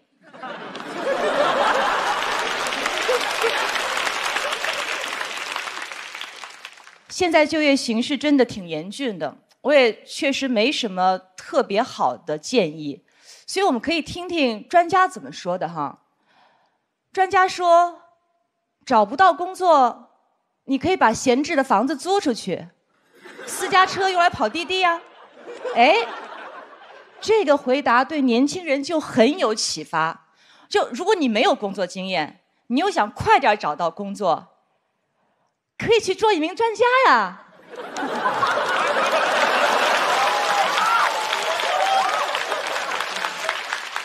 到了凤凰以后，我做的第一档节目叫《凤凰早班车》，每天凌晨四点起床，七点直播，八点直播完了以后可以回家歇一会儿，然后中午十二点又开始直播，真的特别累。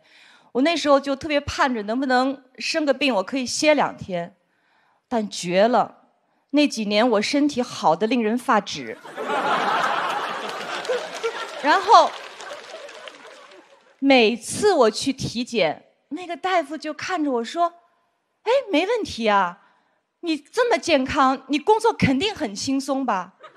我谢谢你啊，我说我天天工作十几个小时啊。大夫说：“真的吗？我不信。”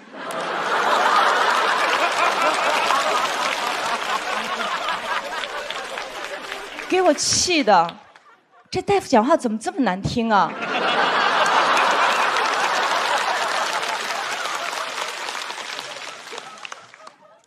给我头都气大了。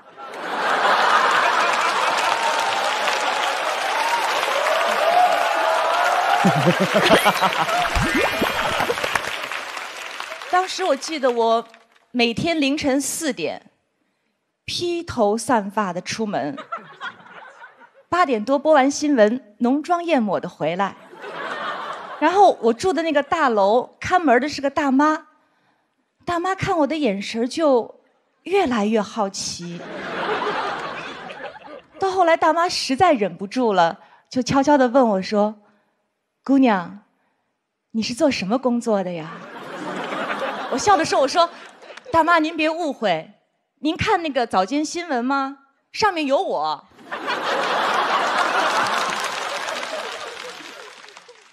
大妈说：“哟，你都上新闻了，还这么骄傲呢？”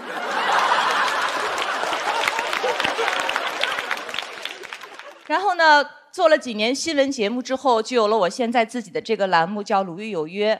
然后有人就帮我算了一下，说你采访了一万多人，这么多人来自不同的职业，但是有个特点，就是来的每一个嘉宾，他都经历了人生的起伏，然后最后他们都走了出来。所以我也思考过，就是为什么他们最后都能走出来呢？因为没走出来的，我都没请。然后。做《鲁豫有约》这些年吧，就老有人吐槽说：“你就会说真的吗？”我不信。其实吧，我没有那么不信，就是想引导他们能说出更精彩的故事。只不过有些时候呢，他们也并没有被我引导，就特直接的回我：“你爱信不信。”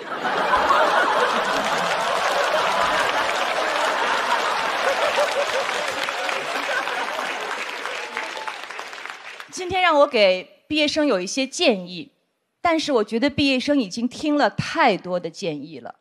我真正想建议的，是那些在职场上有话语权的人，就是你永远不要低估一个人成长的潜能。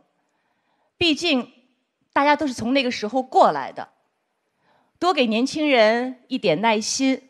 哎，如果你给不了他们耐心，至少给他们一份工作。那如果你给不了工作，就给我安静。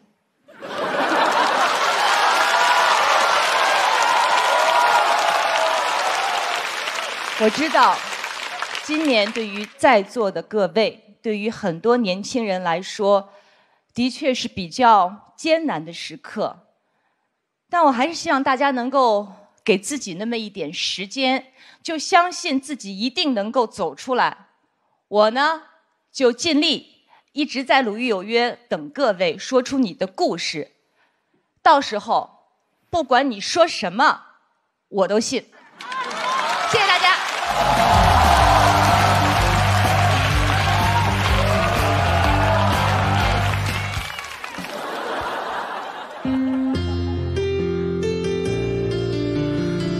同学们，恭喜你们毕业啦！你会听到老师欣慰的说你告别了青涩，你会听到同学期待的说你记得联系我，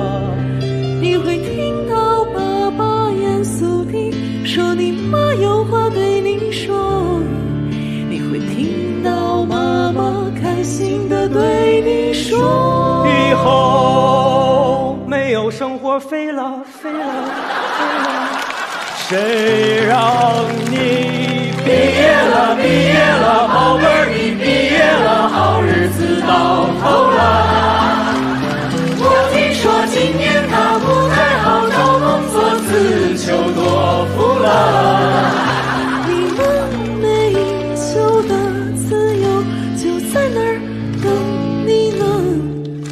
在城中村下地铁转两趟公交车。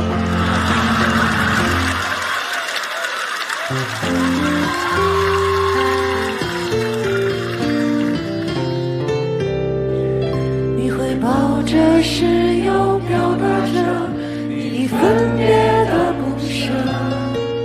你会怀念他帮你签到，让你安心的逃课。会收起沉重的行李，离开思念的宿舍。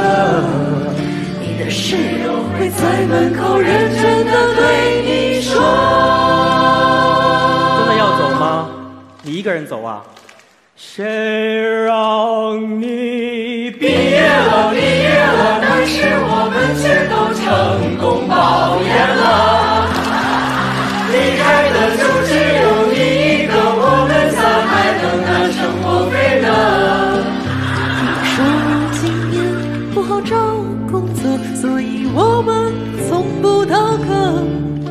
后你旷工，没人说老板我在这儿。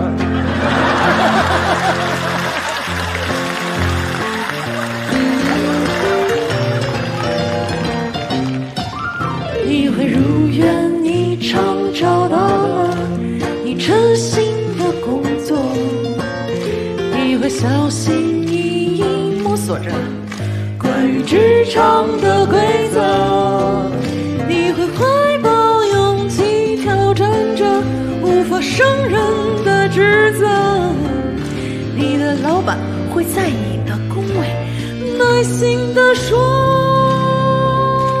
小王啊，是谁让你毕业的？毕业的到底是哪一个允许你毕业的？堂堂的九八五本科的毕业生方案，像小儿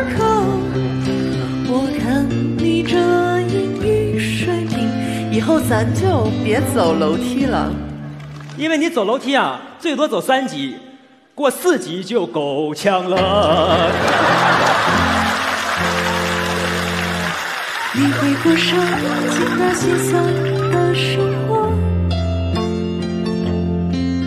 你会精心挑选能打折的场合，去哪儿吃打折呢？你会专门带上朋友去吃那一家火锅，去那儿打折？然后听到服务员会上来对你说。先生，您这你这学生证打折，您这您毕业了，毕业了，学生证过期了，没有优惠了。但是我们可以为您免费的送上一首歌，One Two Three。所有的优惠说拜拜，所有的演讲说嗨嗨。谁让你毕业了，毕业了，毕业了，毕业了？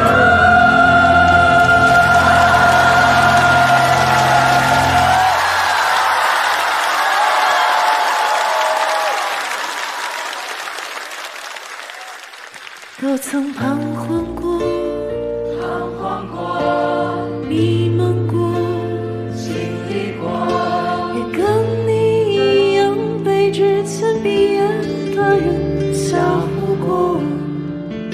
虽然不想承认，但谁让我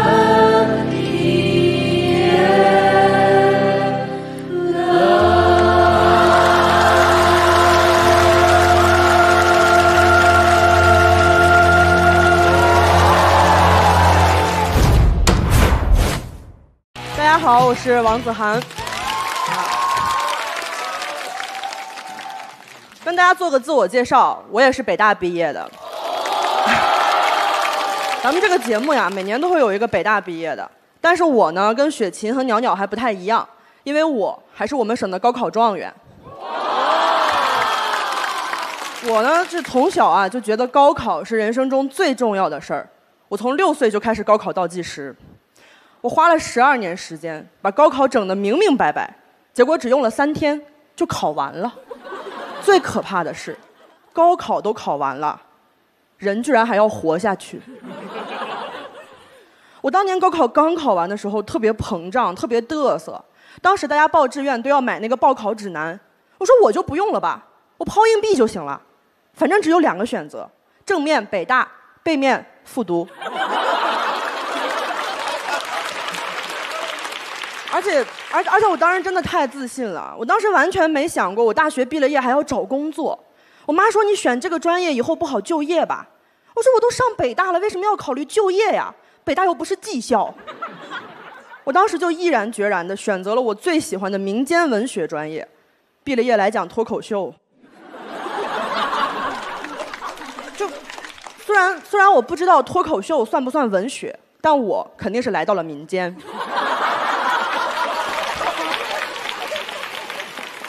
当年信心满满的进了北大，结果开学就给我整崩溃了。开学班会的时候，老师说让大家介绍一下自己。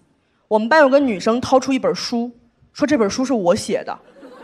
我说啊，你高考完都不用学车吗？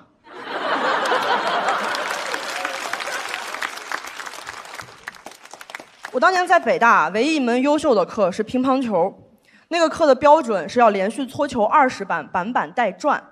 我能拿优秀，是因为我还有一个室友是国家二级运动员，他能把每一个球精准的喂到我的板上。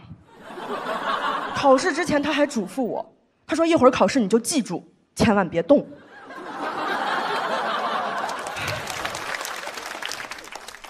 我今年已经二十七岁了，我到现在都没有走出高考的阴影。我一直想证明高考不是我的人生巅峰，我还能做出更大的成就。但是我越想证明，我就越证明不了。我发现高考这件事儿就是这样，考不好难受四年，考好了难受一辈子。但我现在也想开了，我觉得我就是应该放下这个光环。什么光环？我是我们省的高考状元。你看没光环了吧？哎，你们都不哇了。就就这个光环啊，也就管那一下我决定啊，从明天开始放下光环，洗心革面，重新做人。因为高考状元这个事儿，我自己只要不提，谁又能知道呢？谢谢大家，我是高考状元王子涵。大家好，我是变革。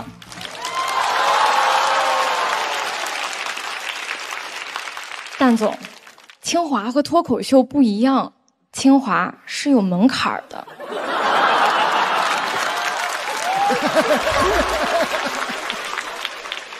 开玩笑，能来讲脱口秀还是很开心的。今天的主题是毕业 ing。首先，这叫 graduating，graduating from university。脱口秀你们是专家，但英语我是专八呀。都说毕业是人生的转折点，其实我高中那会儿就规划好要学法律当律师了。只有一件事儿我没规划好，就是我本来想考北大，阴差阳错之下却保送了清华。没有办法，每个人都有自己做不到的事儿，我也不会因此太苛责自己。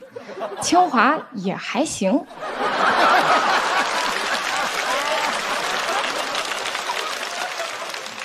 人生不是规划好就能一帆风顺的，过程中还会遇到很多难关。大家都知道，清华校园很美，我也听说了，但我没怎么去过。我因为疫情啊，这四年大部分时间都在上网课。我妈一度很怀疑，清华还能函授吗？家里亲戚也很关心我，变革学习还顺利吧？我说网不卡的时候还挺顺利的。不光我们，老师们也在努力克服这些困难。我们哲学老师在讲台上讲了一辈子课，没想到网课居然适应的还特别快。同学们，今天我们继续来讲康德。刚才讲的这个形而上学，同学们听懂了吗？听懂的在弹幕上扣个一。我们都听懵了，生怕老师来一句。这本人民出版社的《纯粹理性批判》呀，现在就可以在直播间购买了。三二一，上链接。今年我们很多同学都是在家里线上观看的直播毕业典礼，一边看一边给自己拨穗儿。有的同学忘了定闹钟，一觉醒来，他的青春结束了。我是一个非常看重规划的人。即使毕业后没进律所，那也在我进律所的规划之中。我可以考研、考公务员，gap year 跪在律所门口求一年。讲脱口秀其实也是我的规划，讲的差我就回去找工作，讲的好我就找到了工作。只要我规划的足够多，一切就都在我的规划之中。现在的就业形势确实困难。清华保研的名额变少了，工作不好找。前一阵子，我一份已经收到的 offer 居然被撤了。在我的理解里，发出去的 offer 就是泼出去的水，offer 还能被撤的吗？还有没有 order 了？发出 offer 的机构还是一家律所，一点契约精神都没有。但是回头想想，正因为他是律所，他还不怕被告。本来是一份 offer 的事儿。回头就变成一个 case 了，我是真不敢跟他们杠呀！拜托，我是想当律师，不是想请律师呀。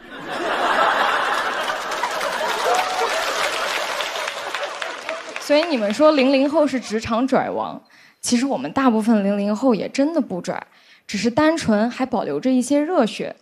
大家对于后辈总是喜欢吐槽，八零后吐槽九零后，零零后吐槽一零后。我现在觉得最差的还是那些二零后，只知道索取，连话都说不清楚。我觉得世界就是这样，前辈们喜欢指导我们，我们也想借鉴前辈们过往的经验，但是每一代人遇到的问题都是不一样的，唯有自强不息，厚德载物，这是清华的校训，我也想跟大家共勉，希望我们都能有个光明的未来。蛋总，我很喜欢脱口秀，你们效果文化也要自强不息啊！谢谢大家，我是变革。Hello，大家好，我是陈明。大家好。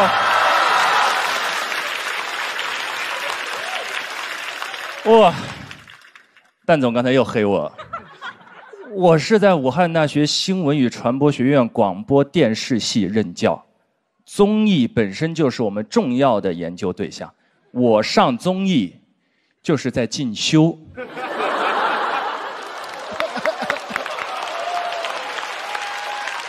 而且，今天说实话，要正式的向蛋总表达一下感谢哈。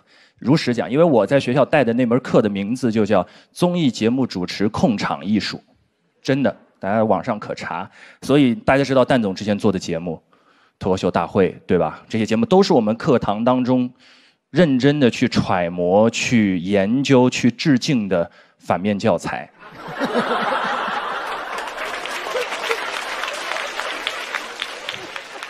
他给了我一个封号“五大综艺天王”，惭愧，哪来的五大综艺天王？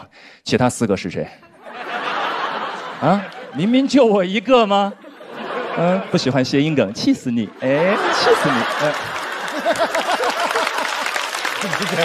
啥呀？已经气不到了。今年呢，我们回到严肃话题，要讲毕业和高校。这个确实啊，今年的毕业生就业形势都不太好。这个大家也都知道，我也看到了一个数据，一个985、211高校新闻与传播学院，应届的硕士毕业生，截止到三月底，三方签约率是百分之三十六左右。这个数字是个什么概念呢？从去年往前，在这个时间段，这个数字都是百分之九十九以上。你说想想，心里是不是有点慌？啊，这意味着什么呢？这意味着今年最热门的职业就是自由职业，啊，当然很多人问我说：“陈老师，到底是大环境不好，还是小趋势不行？”我说这是个很好的辩题，啊，但我今天不是来辩论的，我直接结辩，不管大环境还是小趋势，各位，心若在，梦就在，天地之间还有真爱。前几年找到工作又怎么样？今年还不是要从头再来，对不对啊？不要有什么压力啊。当然，呃，压力不仅仅来源于今年激烈的竞争，还有外部环境的变化，也来自于家庭。有的同学毕业了想做自媒体，又不知道怎么跟家长解释，因为对家长来说，自媒体就叫没工作，对吧？自媒体自然就没了的物体，对吧？气死你，气死你！哎，李诞啊！现在呢，整个媒体行业在一个职业转型期，新职业也是层出不穷。那我有一个学生，他就爱玩游戏，我就推荐他去做电竞选手，那根本打不过。然后我又鼓励他去做电竞主播，赚的也不多啊。最后他做了游戏推广，这个工作干得好。我昨天晚上还在玩他推广的游戏。效果非常好，所以说明什么呢？各位不要在一份工作上吊死，你要多去尝试不同的工作，但最重要的是，你要先找到第一份工作啊。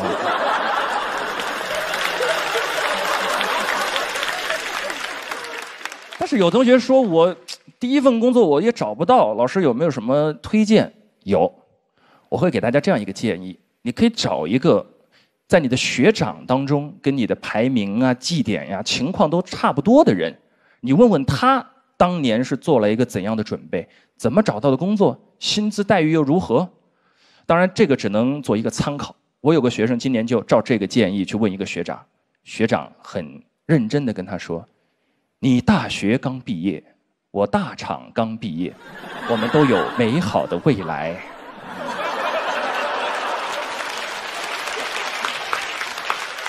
以前学生找工作呢，都往北上广跑，但现在情况也不一样了。很多学生啊，灵机一动，比如说有位同学他留在老家发展，老家在成都，每天朋友圈上火锅、兔头、钵钵鸡，把那些去上海的朋友馋的呀，每天必须得打一套龙拳才能平复下来。打完了睡得一觉可香了，眼睛一睁，哎呀，错过了团购啊！只能就着朋友圈里的火锅、兔头、钵钵鸡，吃一点洋葱、胡萝卜、土豆泥，有时还就一点绿化带啊。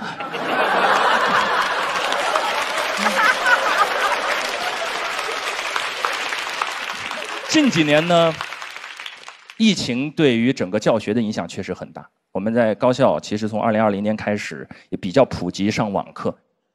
有一次我们当时上发声课，上着上着。听到了呼噜声，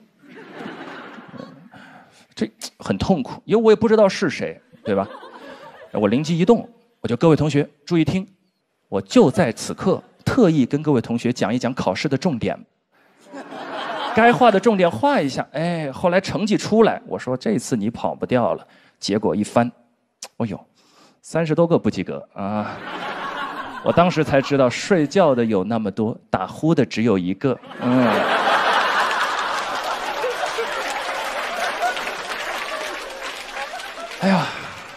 大学毕业其实还有一个问题，大家刚才在精彩的诗朗诵当中已经感受到了，分手的问题。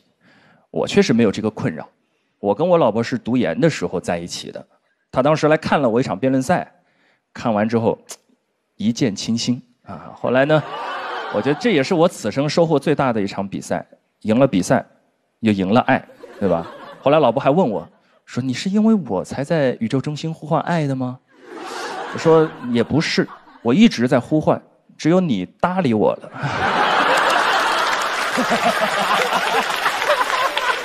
对，大家都在说说我是爱神，是我站在宇宙中心呼唤爱。但说实话，今年这个形势啊，我就不呼唤爱了。我希望给大家呼唤一些工作，好不好？各位老板，走过路过千万不要错过，认真来看一看。看看今年这些应届毕业生们，他们多么优秀，他们都是刚刚毕业的啊！给我们的年轻人多一些机会，让我们共度难关，共创未来。因为工作在，心就在，天地间还有真爱，一定能找到各位最终的彼岸。谢谢，谢谢各位，我是陈明。各位参加反跨年的观众啊，把票拿在手里，一人一票，对号入座。来来来，票票我看一下。停，停停停。李老师，您觉得我刚刚的表演怎么样？哎呀，那种熟悉的感觉又来了，如坐针毡，如芒刺背，如鲠在喉。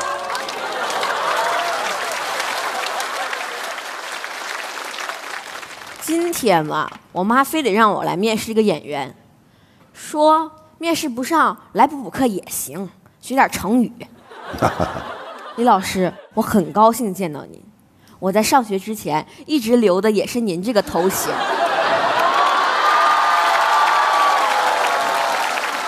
可是我在上学之后就把这个头发留起来了。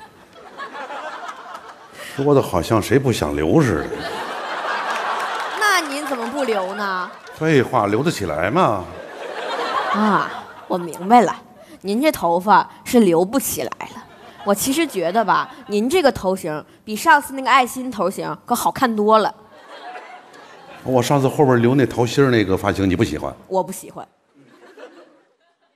你可以不喜欢你不喜欢的东西，但是你必须要允许它的存在。你可以讨厌你讨厌的东西，但是你必须允许你讨厌的东西别人喜欢。这词儿我怎么听着那么耳熟啊？哈哈，原来是我那 CP 小四儿说的。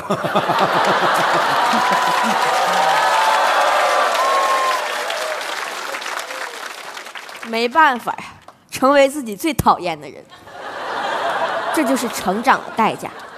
您果然是生活和沉浸在过去时代的，感受到过去时代夕阳的一位老艺人。太猛了！连您的头发也留在了过去。小小年纪啊，要懂得尊重人，要说一些别人喜欢听的话，嗯，别净说人扎心的啊。是导演让我说的，说这老头啊可不好对付了，让我一上来就刺激刺激他。但我又觉得吧，我小小年纪应该懂得尊重别人。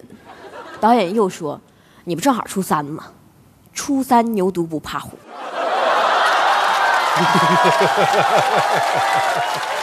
我当时一听到这个谐音梗啊，我就怒从心头起，恶向胆边生，抖丹田大喊一声：“呆！”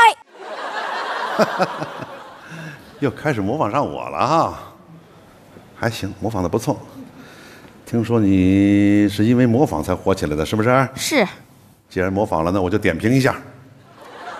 模仿是表演的初始，但不是表演的全部。一个好的演员要具备忘我。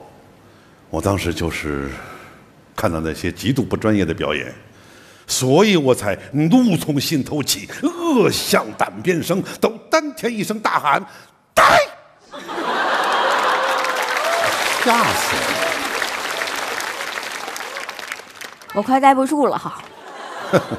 我就是看了您在《演员请就位》里边的毒舌点评，我觉得非常好玩。后来您退出了，我以为您金盆漱口了，没想到今天的您还是那么的毒舌，您还是从前那个老头，没有一丝丝改变。孩子，嗯，我不是毒舌，我是太热爱我的表演职业了。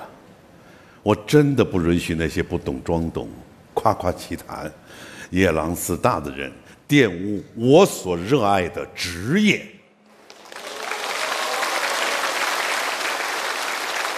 李老师，我太认同您的说法，我也特别热爱表演，我就爱看《甄嬛传》，里面演的老好了，我可喜欢看了，我看一百多遍了。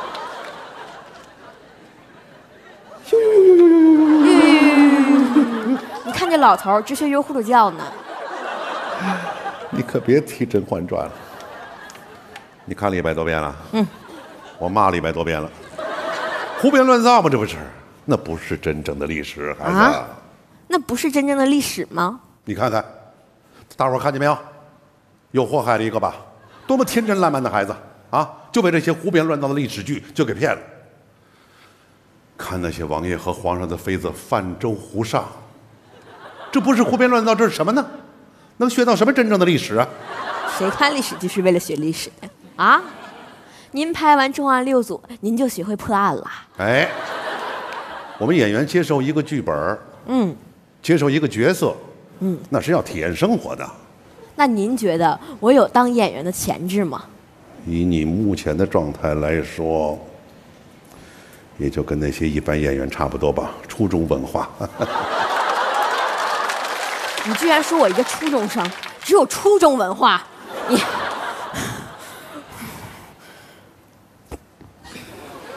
蓝湛，对不住了，我想办法下辈子再还你。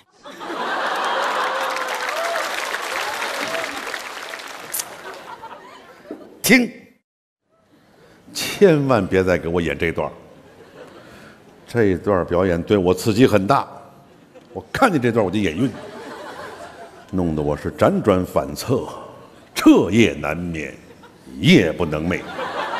李老师，您就发我一张 S 卡吧，我晚上啊去请你吃饭去。小小年纪哪儿学的这套？吃饭就不必了。我还是可以给你一张 S 卡，S 有很多意思。可以是 super，可以是 surprise。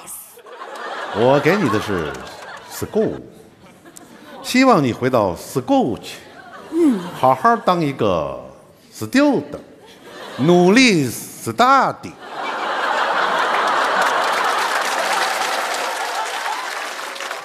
今天真是学到不少的东西哈，不光有成语，还有英语。我再教给你一个 S，schedule，档期。我现在档期很满，我火了，我红了，我火红了，我红的不得了。但是绝对不能膨胀。我现在要去拍戏去了，我要把这个位置交还给张雨绮。谢谢大家，我是演员李成儒。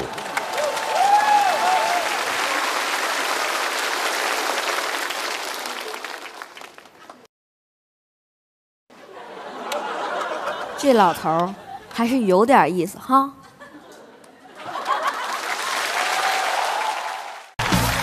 Hello，大家好，我是刘恋。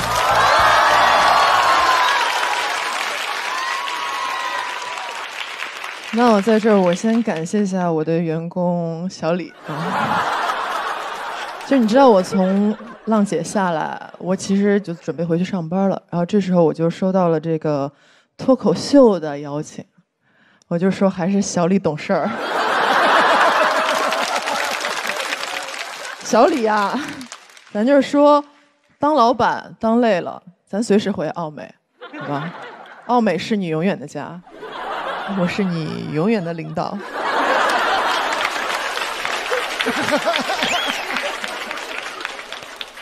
那今天是毕业场啊，节目组说让我要来聊聊毕业的事儿，我说好啊，我高中毕业于成都第七中学。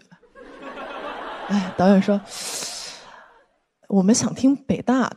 我说北大有啥好稀罕的？北大的故事那么多人都说过了，可是成都七中的故事可是鲜为人知。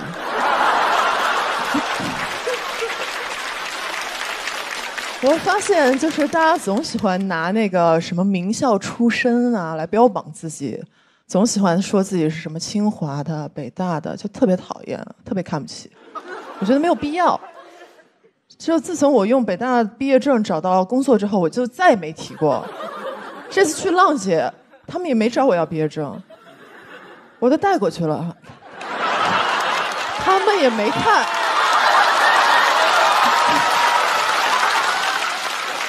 白带了。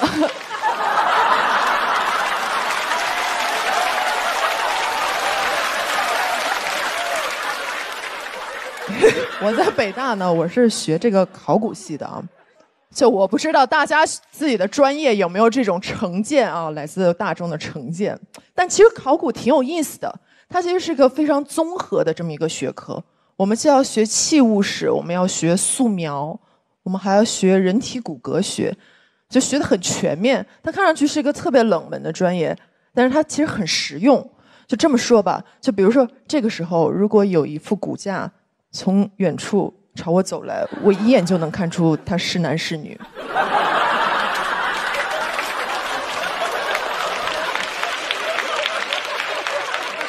然后我在大学的时候啊，我和我的这个搭档啊杜凯组了个乐队，然后同学开玩笑说：“哎，你又考古又搞音乐，你是不是喜欢编钟？”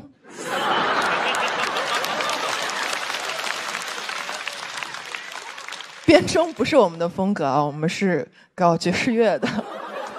其实我们做乐队非常辛苦啊，特别是刚开始的时候。那时候我们去酒吧驻唱的时候，我们唱仨小时就给两百块钱，然后我和杜凯一人一百。当时我们就决定，就是这个乐队一定不能再加人了。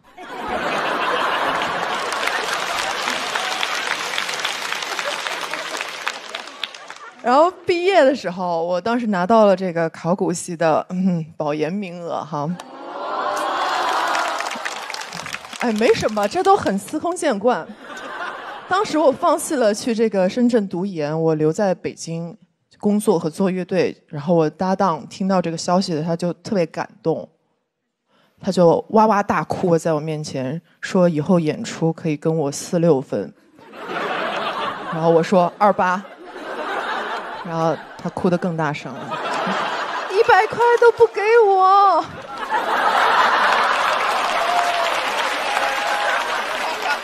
有人会问你怎么讲这么老的梗啊？这是考古梗。然后很多人说我是斜杠青年，其实斜杠挺难的，他需要在这种不同的身份、不同的状态之间去转换。就是有时候演出演完我已经很累了，但是我必须要去写第二天的 PPT。就别的乐队是在赶场，然后我们是在赶稿。然后我还遇到就是我们客户，他美其名曰要来看我的演出，然后其实是来催稿的。就演出完了，大家都在喊 uncle uncle，然后那边有个声音在喊交稿交稿。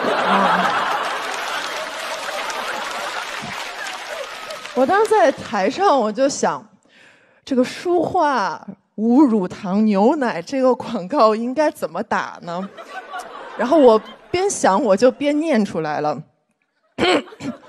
熬夜改稿来一口，演出赶场来一口，舒化无乳糖牛奶，怎么喝都好吸收。哎，打打完了啊，小李，咱们专业的广告人是不是不一样啊？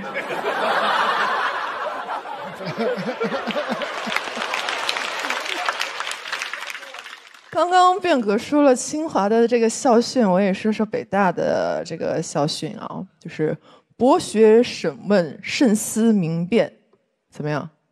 这个就是网上流传的北大校训。哎，其实北大它是没有校训的，但是只有上过北大的人才知道。哎，但现在你们也知道了，好吧？但不管怎么样，我们还是要尽可能做到博学审问、慎思明辨。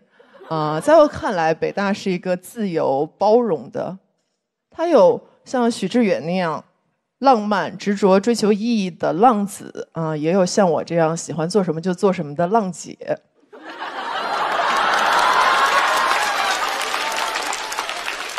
我感觉现在的毕业生，大家好多都很焦虑啊。其实我觉得可以随性一些，做自己喜欢的事儿，嗯，就不要被专业限制。不是考古出来就必须得挖地，也可以来这儿讲考古梗。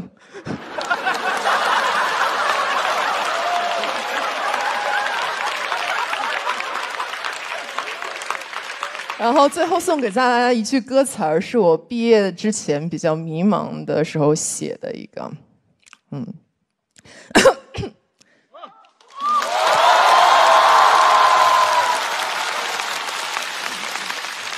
别担忧，还要再过多久才能过你想要的生活？把明天的烦恼交给明天，别想了。谢谢大家，我的恋。亲爱的观众朋友们，亲爱的年轻朋友们，大家好。接下来，我对对方辩友提出的这个命题进行一个简单的剖析。什么叫北上广爱来不来啊？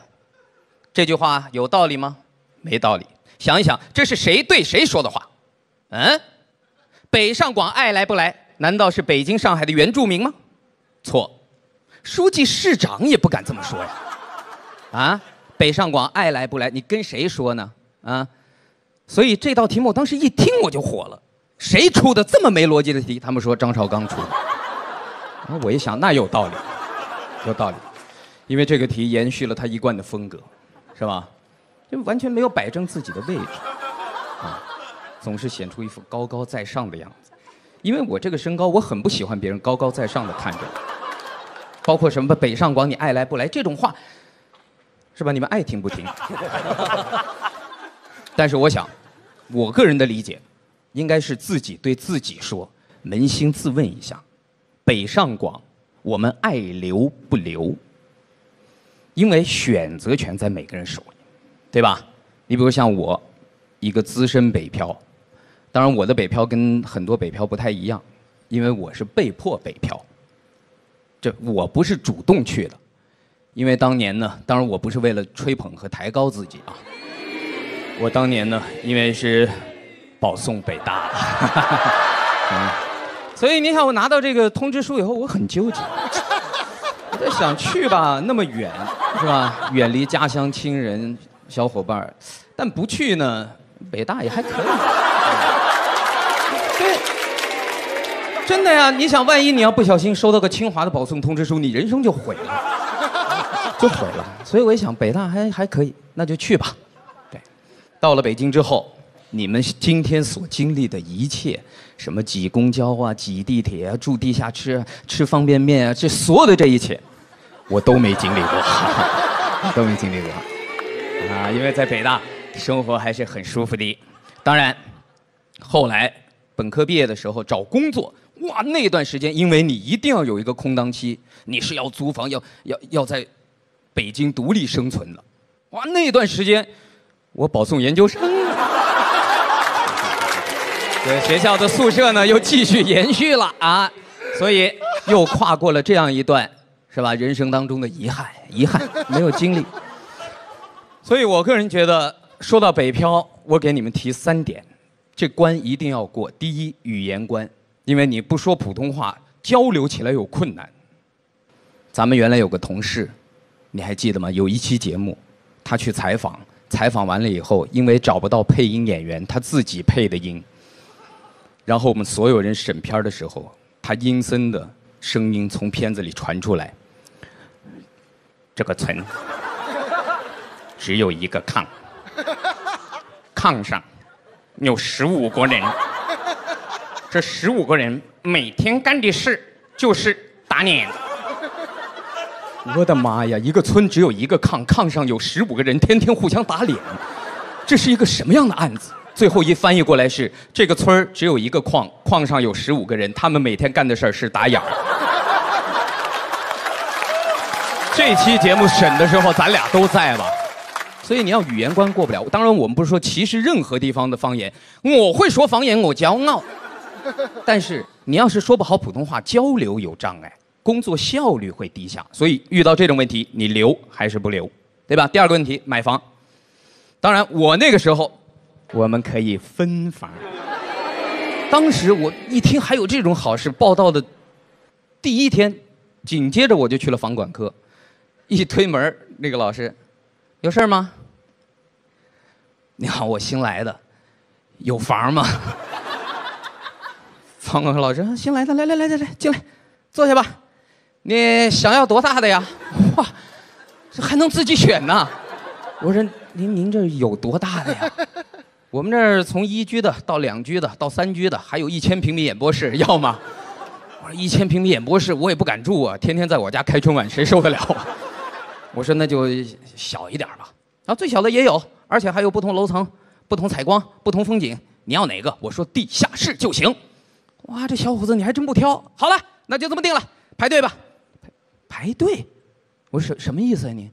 说你看一看啊，中央台进来的所有的这个职工，大家排队分房。我看看你前面啊，哦，三百多个。哎，你看，你看前面你排在前面的还有你大姐。啊，还有赵忠祥老师，啊，你看赵忠祥老师都排了二十多年了，对。我说那那您觉得我还有必要排吗？那个老师说，不忘初心嘛，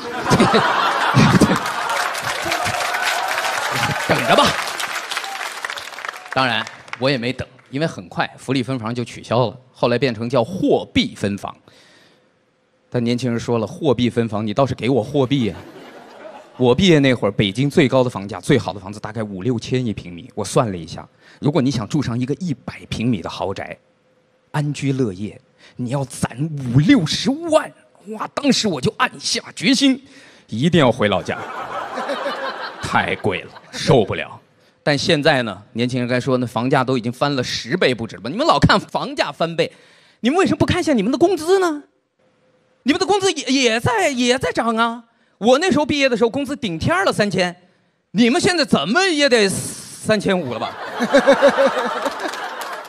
当然，买房子这事儿呢，你也急不起，因为现在房价确实贵。但你可以买远一点，你比如北京买不了，咱买通县，通县买不了，对，沧州，沧州不行，保定，保定再不行，咱白洋淀、雄安，那边贵，那边不行，咱咱继续往下走，再往下走就真回湖北了，那跟回老家有什么区别啊？所以遇到这种情况，你留还是不留？最后一点，你的心态，在北京这样的大城市，上海这样的大城市，藏龙卧虎，除非你才高八斗、学富五车，不然你真待不下去。我都遇见一个事儿，一个小伙子来送快递，一打开门，大哥，有你的快递。小伙子，里边我买的电子设备好的吧？咦好不好俺不知道，可能是好的，可能是坏的。从量子力学的角度讲啊，这个好啊和坏啊，它可能是同时存在的。你只有打开盒子的那一瞬间，这个两种可能性才坍塌到一种可能性上，要么是好坍塌到坏，要么是坏坍塌到好。这就是一个非常著名的定理，叫薛定谔的猫。我当时我就说，大哥，我错了，我我对不起，我我耽误你时间了。所以你说，在这样的城市里，到处都是人才，到处都是能人，你能留下，一定要有一个坚强的心态，不忘初心，啊。最后告诉大家一点：北上广爱来不来这句话，按不同的方式读，它是不同的选择。北上广。来吧，来，坚定信心。北上广，爱，来，不来，这是已经放弃了。但是我相信更多的是第三种，北上广，爱，来不来呢？这个问题那是薛定谔的猫。你只有打开了盒子那一瞬间，你才知道答案。谢谢大家。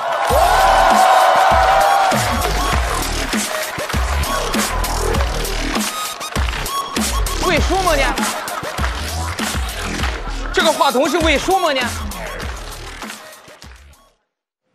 这个话筒掉还是不掉？这是薛定谔的猫。你只有最后让它掉了，才知道答案是什么。你为什么老要掉的？这是广告，京都念慈庵是广告，你上来把人广告给摔了，下去吧。我连个辩解的机会都没有。你辩解什么呀？你都咔咔给人摔坏了，拿好杆儿下去吧。下去吧。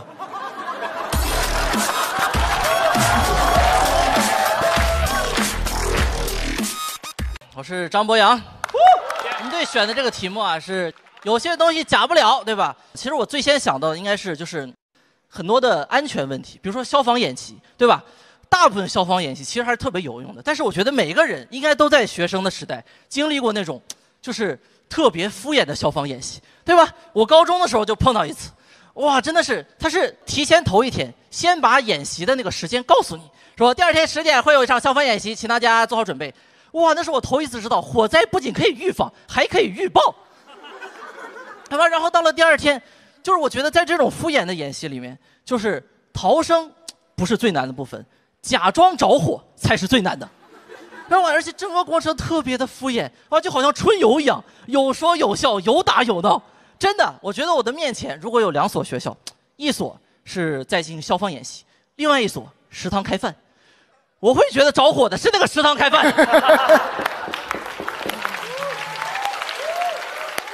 哎，当然，其实之前我在英国留学嘛，经历过一次消防演习，特别的真实，跟国内不太一样。当时凌晨三点，所有人全在宿舍睡觉，然后火警突然就响了，哇，大家都以为着火了，你知道吗？拼命往下跑，好多姑娘衣服都没有穿就跑下去了。哇，然后到了下面，那个宿管才跟你说：“哎呀，我们这是演习，骗你们的。”当时我觉得，哇，这种演习可以多搞。当然，说到一些假不了的东西呢，我觉得就是很多的安全措施是吧？看上去特别的没用。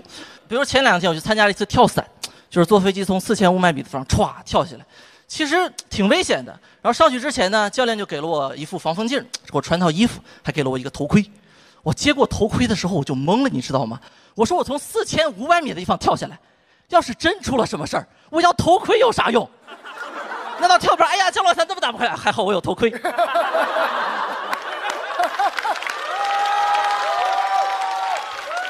这虽然很不能理解，但是我还是把头盔戴上了。上去之后才知道，四千五百米的空中风特别大，头发容易乱。但是戴上头盔就不一样，万一出了什么事儿，起码走的比较安详啊。谢谢大家。啊，大家好，你们认识我吗？对，不用回答，肯定不认识，对吧？嗯，对，自我介绍一下，我叫张博洋，我是一个海归。对，我知道下面听到“海归”这个词，你们很多人第一反应就是出国那那么多，海归有什么呢？我就想跟你们说啊，就你们这种想法是对的。现在的海归里面，真的大部分特别水，我跟你说，简直就是海水。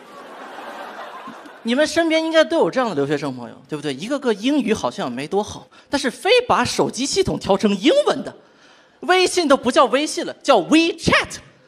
真的，你要是出国留学七八年变成这样，我可以理解。但是你就出去交换三个月，你跟我在这 chat 啥呀？啊，一见面扫一下 WeChat，扫一下 WeChat。我跟你说，扫完之后我根本就不跟他们 chat。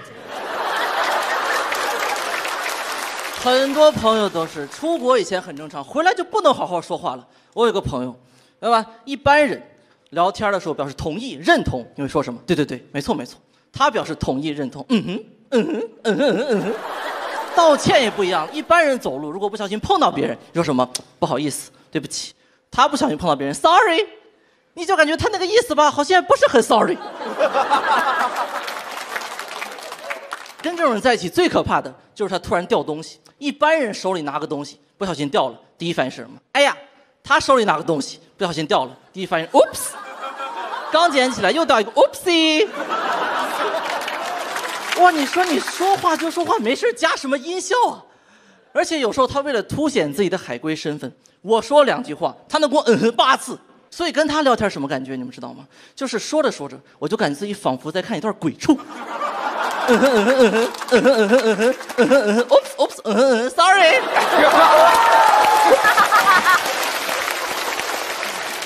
还有一种留学生，不知道你们见过没有？就是每年都要在朋友圈发一次自己的毕业院校。哇，我的母校排名又上升了，英国前三十。大姐，你都毕业十年了，你记得母校，母校不记得你呀。我发现那些学校不好的人，从来就不会在朋友圈怀念自己的母校。我看朋友圈的时候，从来没见过李诞怀念自己的母校华南农业大学，也没见过池子怀念自己的母校通州六中，也没见过柳岩怀念自己的母校。哦，对，我的朋友圈里没有柳岩，想有，没有。当然，喜欢给人贴标签的不只是人，还有媒体，最多的就是媒体。有些标签真的是莫名其妙，比如前天我就在报纸上面看到了一个新闻，关于柳岩老师的，标题是这样的，叫“柳岩妆前妆后差别大，素颜被指像大妈”。我就搞不懂这些媒体在想啥。我说你们见过大妈吗？啊，你们去过广场吗？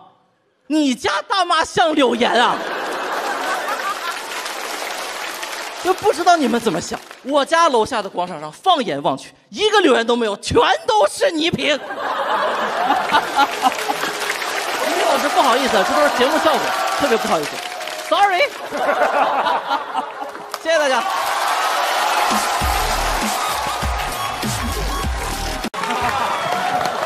你过来呀！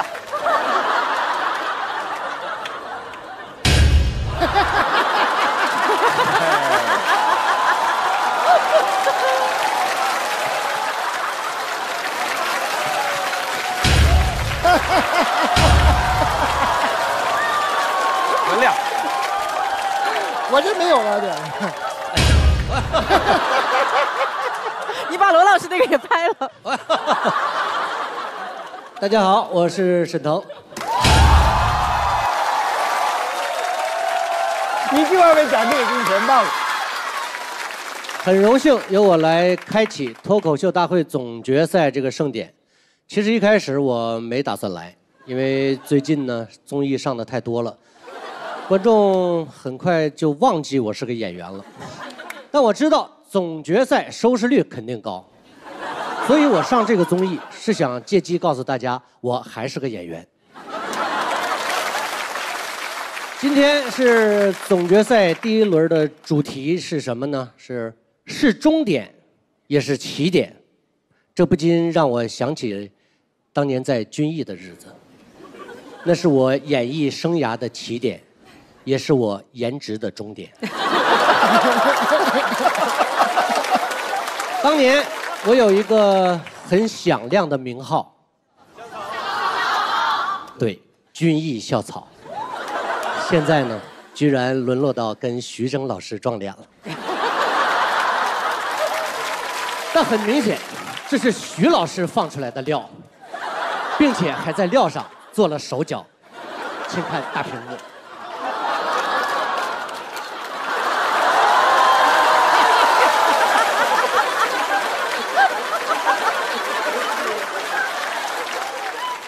徐峥老师跟我撞脸，我这脸可是入围过亚太区最帅一百张面孔，number 二十一的。徐峥老师，你能入围啥？你最多能入围亚太地区最秃的一百颗头。你排名三十七，李诞三十八，排名第一。罗永浩老师在榜外，也坚持不了太久了。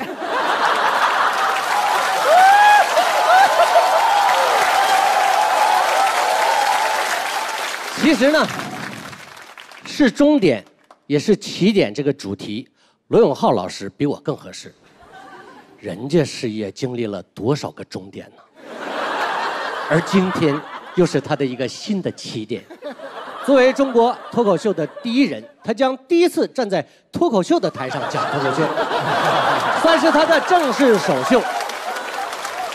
但谁知道呢？罗永浩加油，脱口秀挺住。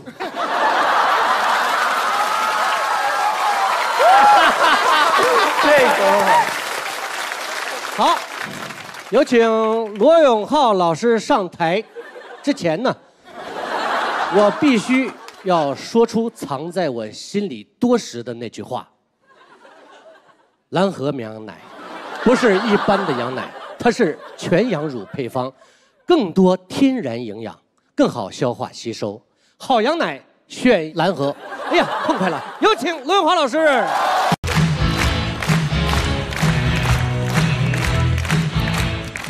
家好，我是今晚的二十一号佳丽小姐，来自山东烟台。大家有没有看到我的背后？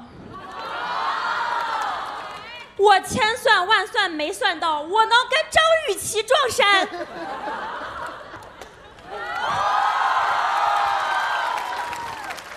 我一时间不知道是难过还是开心。对，那我就开开始我正式的表演了。我在这个云我们这个节目云海选的时候，我就有跟大家分享过，我在小学六年级的时候啊，在网上写了一部连载的言情小说，名字叫做《恶魔包围圈的 Sweet Girl》。哇，这边观众能听得懂英语哎！哇，然后这个节目播出之后，竟然有自称是出版商的人联系我，想要给我出书。然后我当时就说，这个恶魔包围圈的 Sweet Girl，它不至于吧？然后对方说不是的，在那个节目里，大家不都喊你烟台贵妇吗？所以就希望你能写一些就是揭秘富婆人性弱点啊，教大家如何走进富婆内心深处这样一些内容。就是虽然我家庭条件还可以啊，但是我之前也是上过班的。虽然虽然最近没有再上过了，因为确实也是不需要啊。呃，我们我们今天观众，你们明天还要去上班吗？哦，我特佩佩。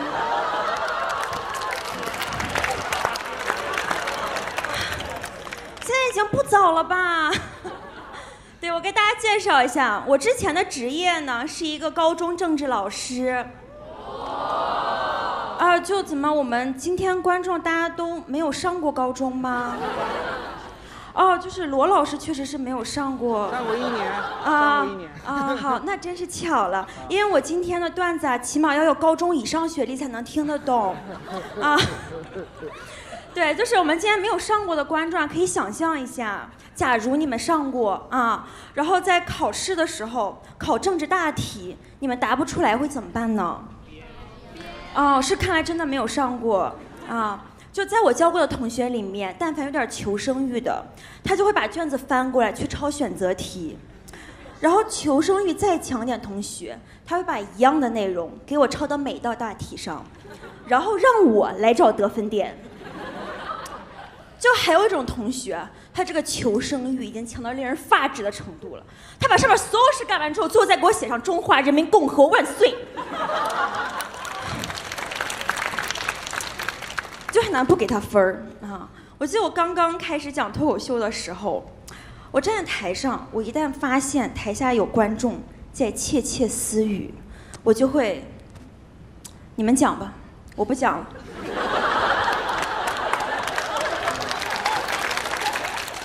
等你们讲完，我再讲。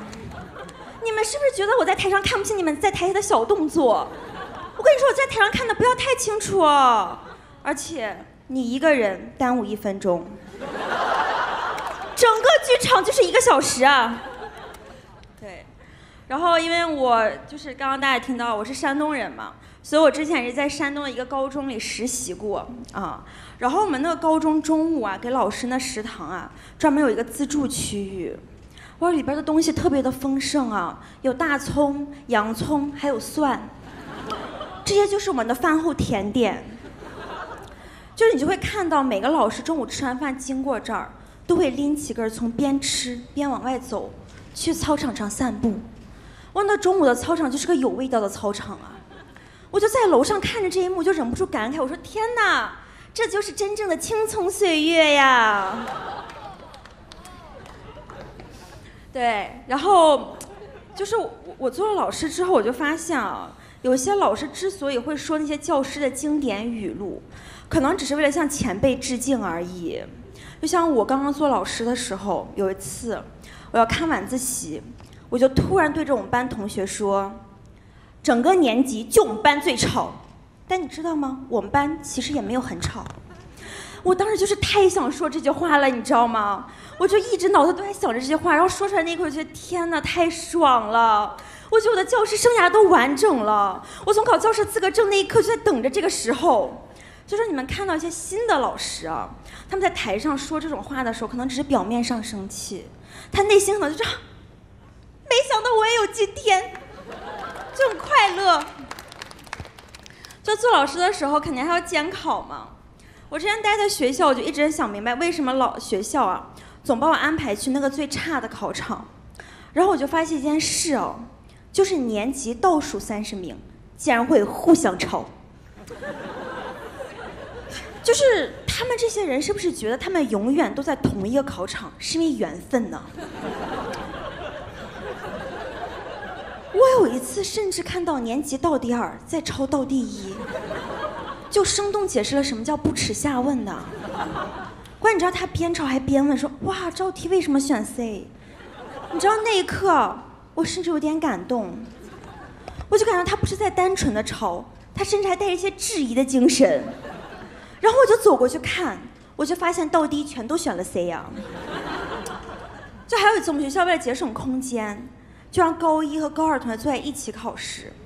然后我就看到一个高一的同学在抄高二同学的选择题，我就过去提醒他，我说：“同学啊，你们卷子是不一样的。”然后同学很淡定的看着我说：“嗯，老师我知道呀，但我决定把这一切交给命运。”谢谢戴尔小姐。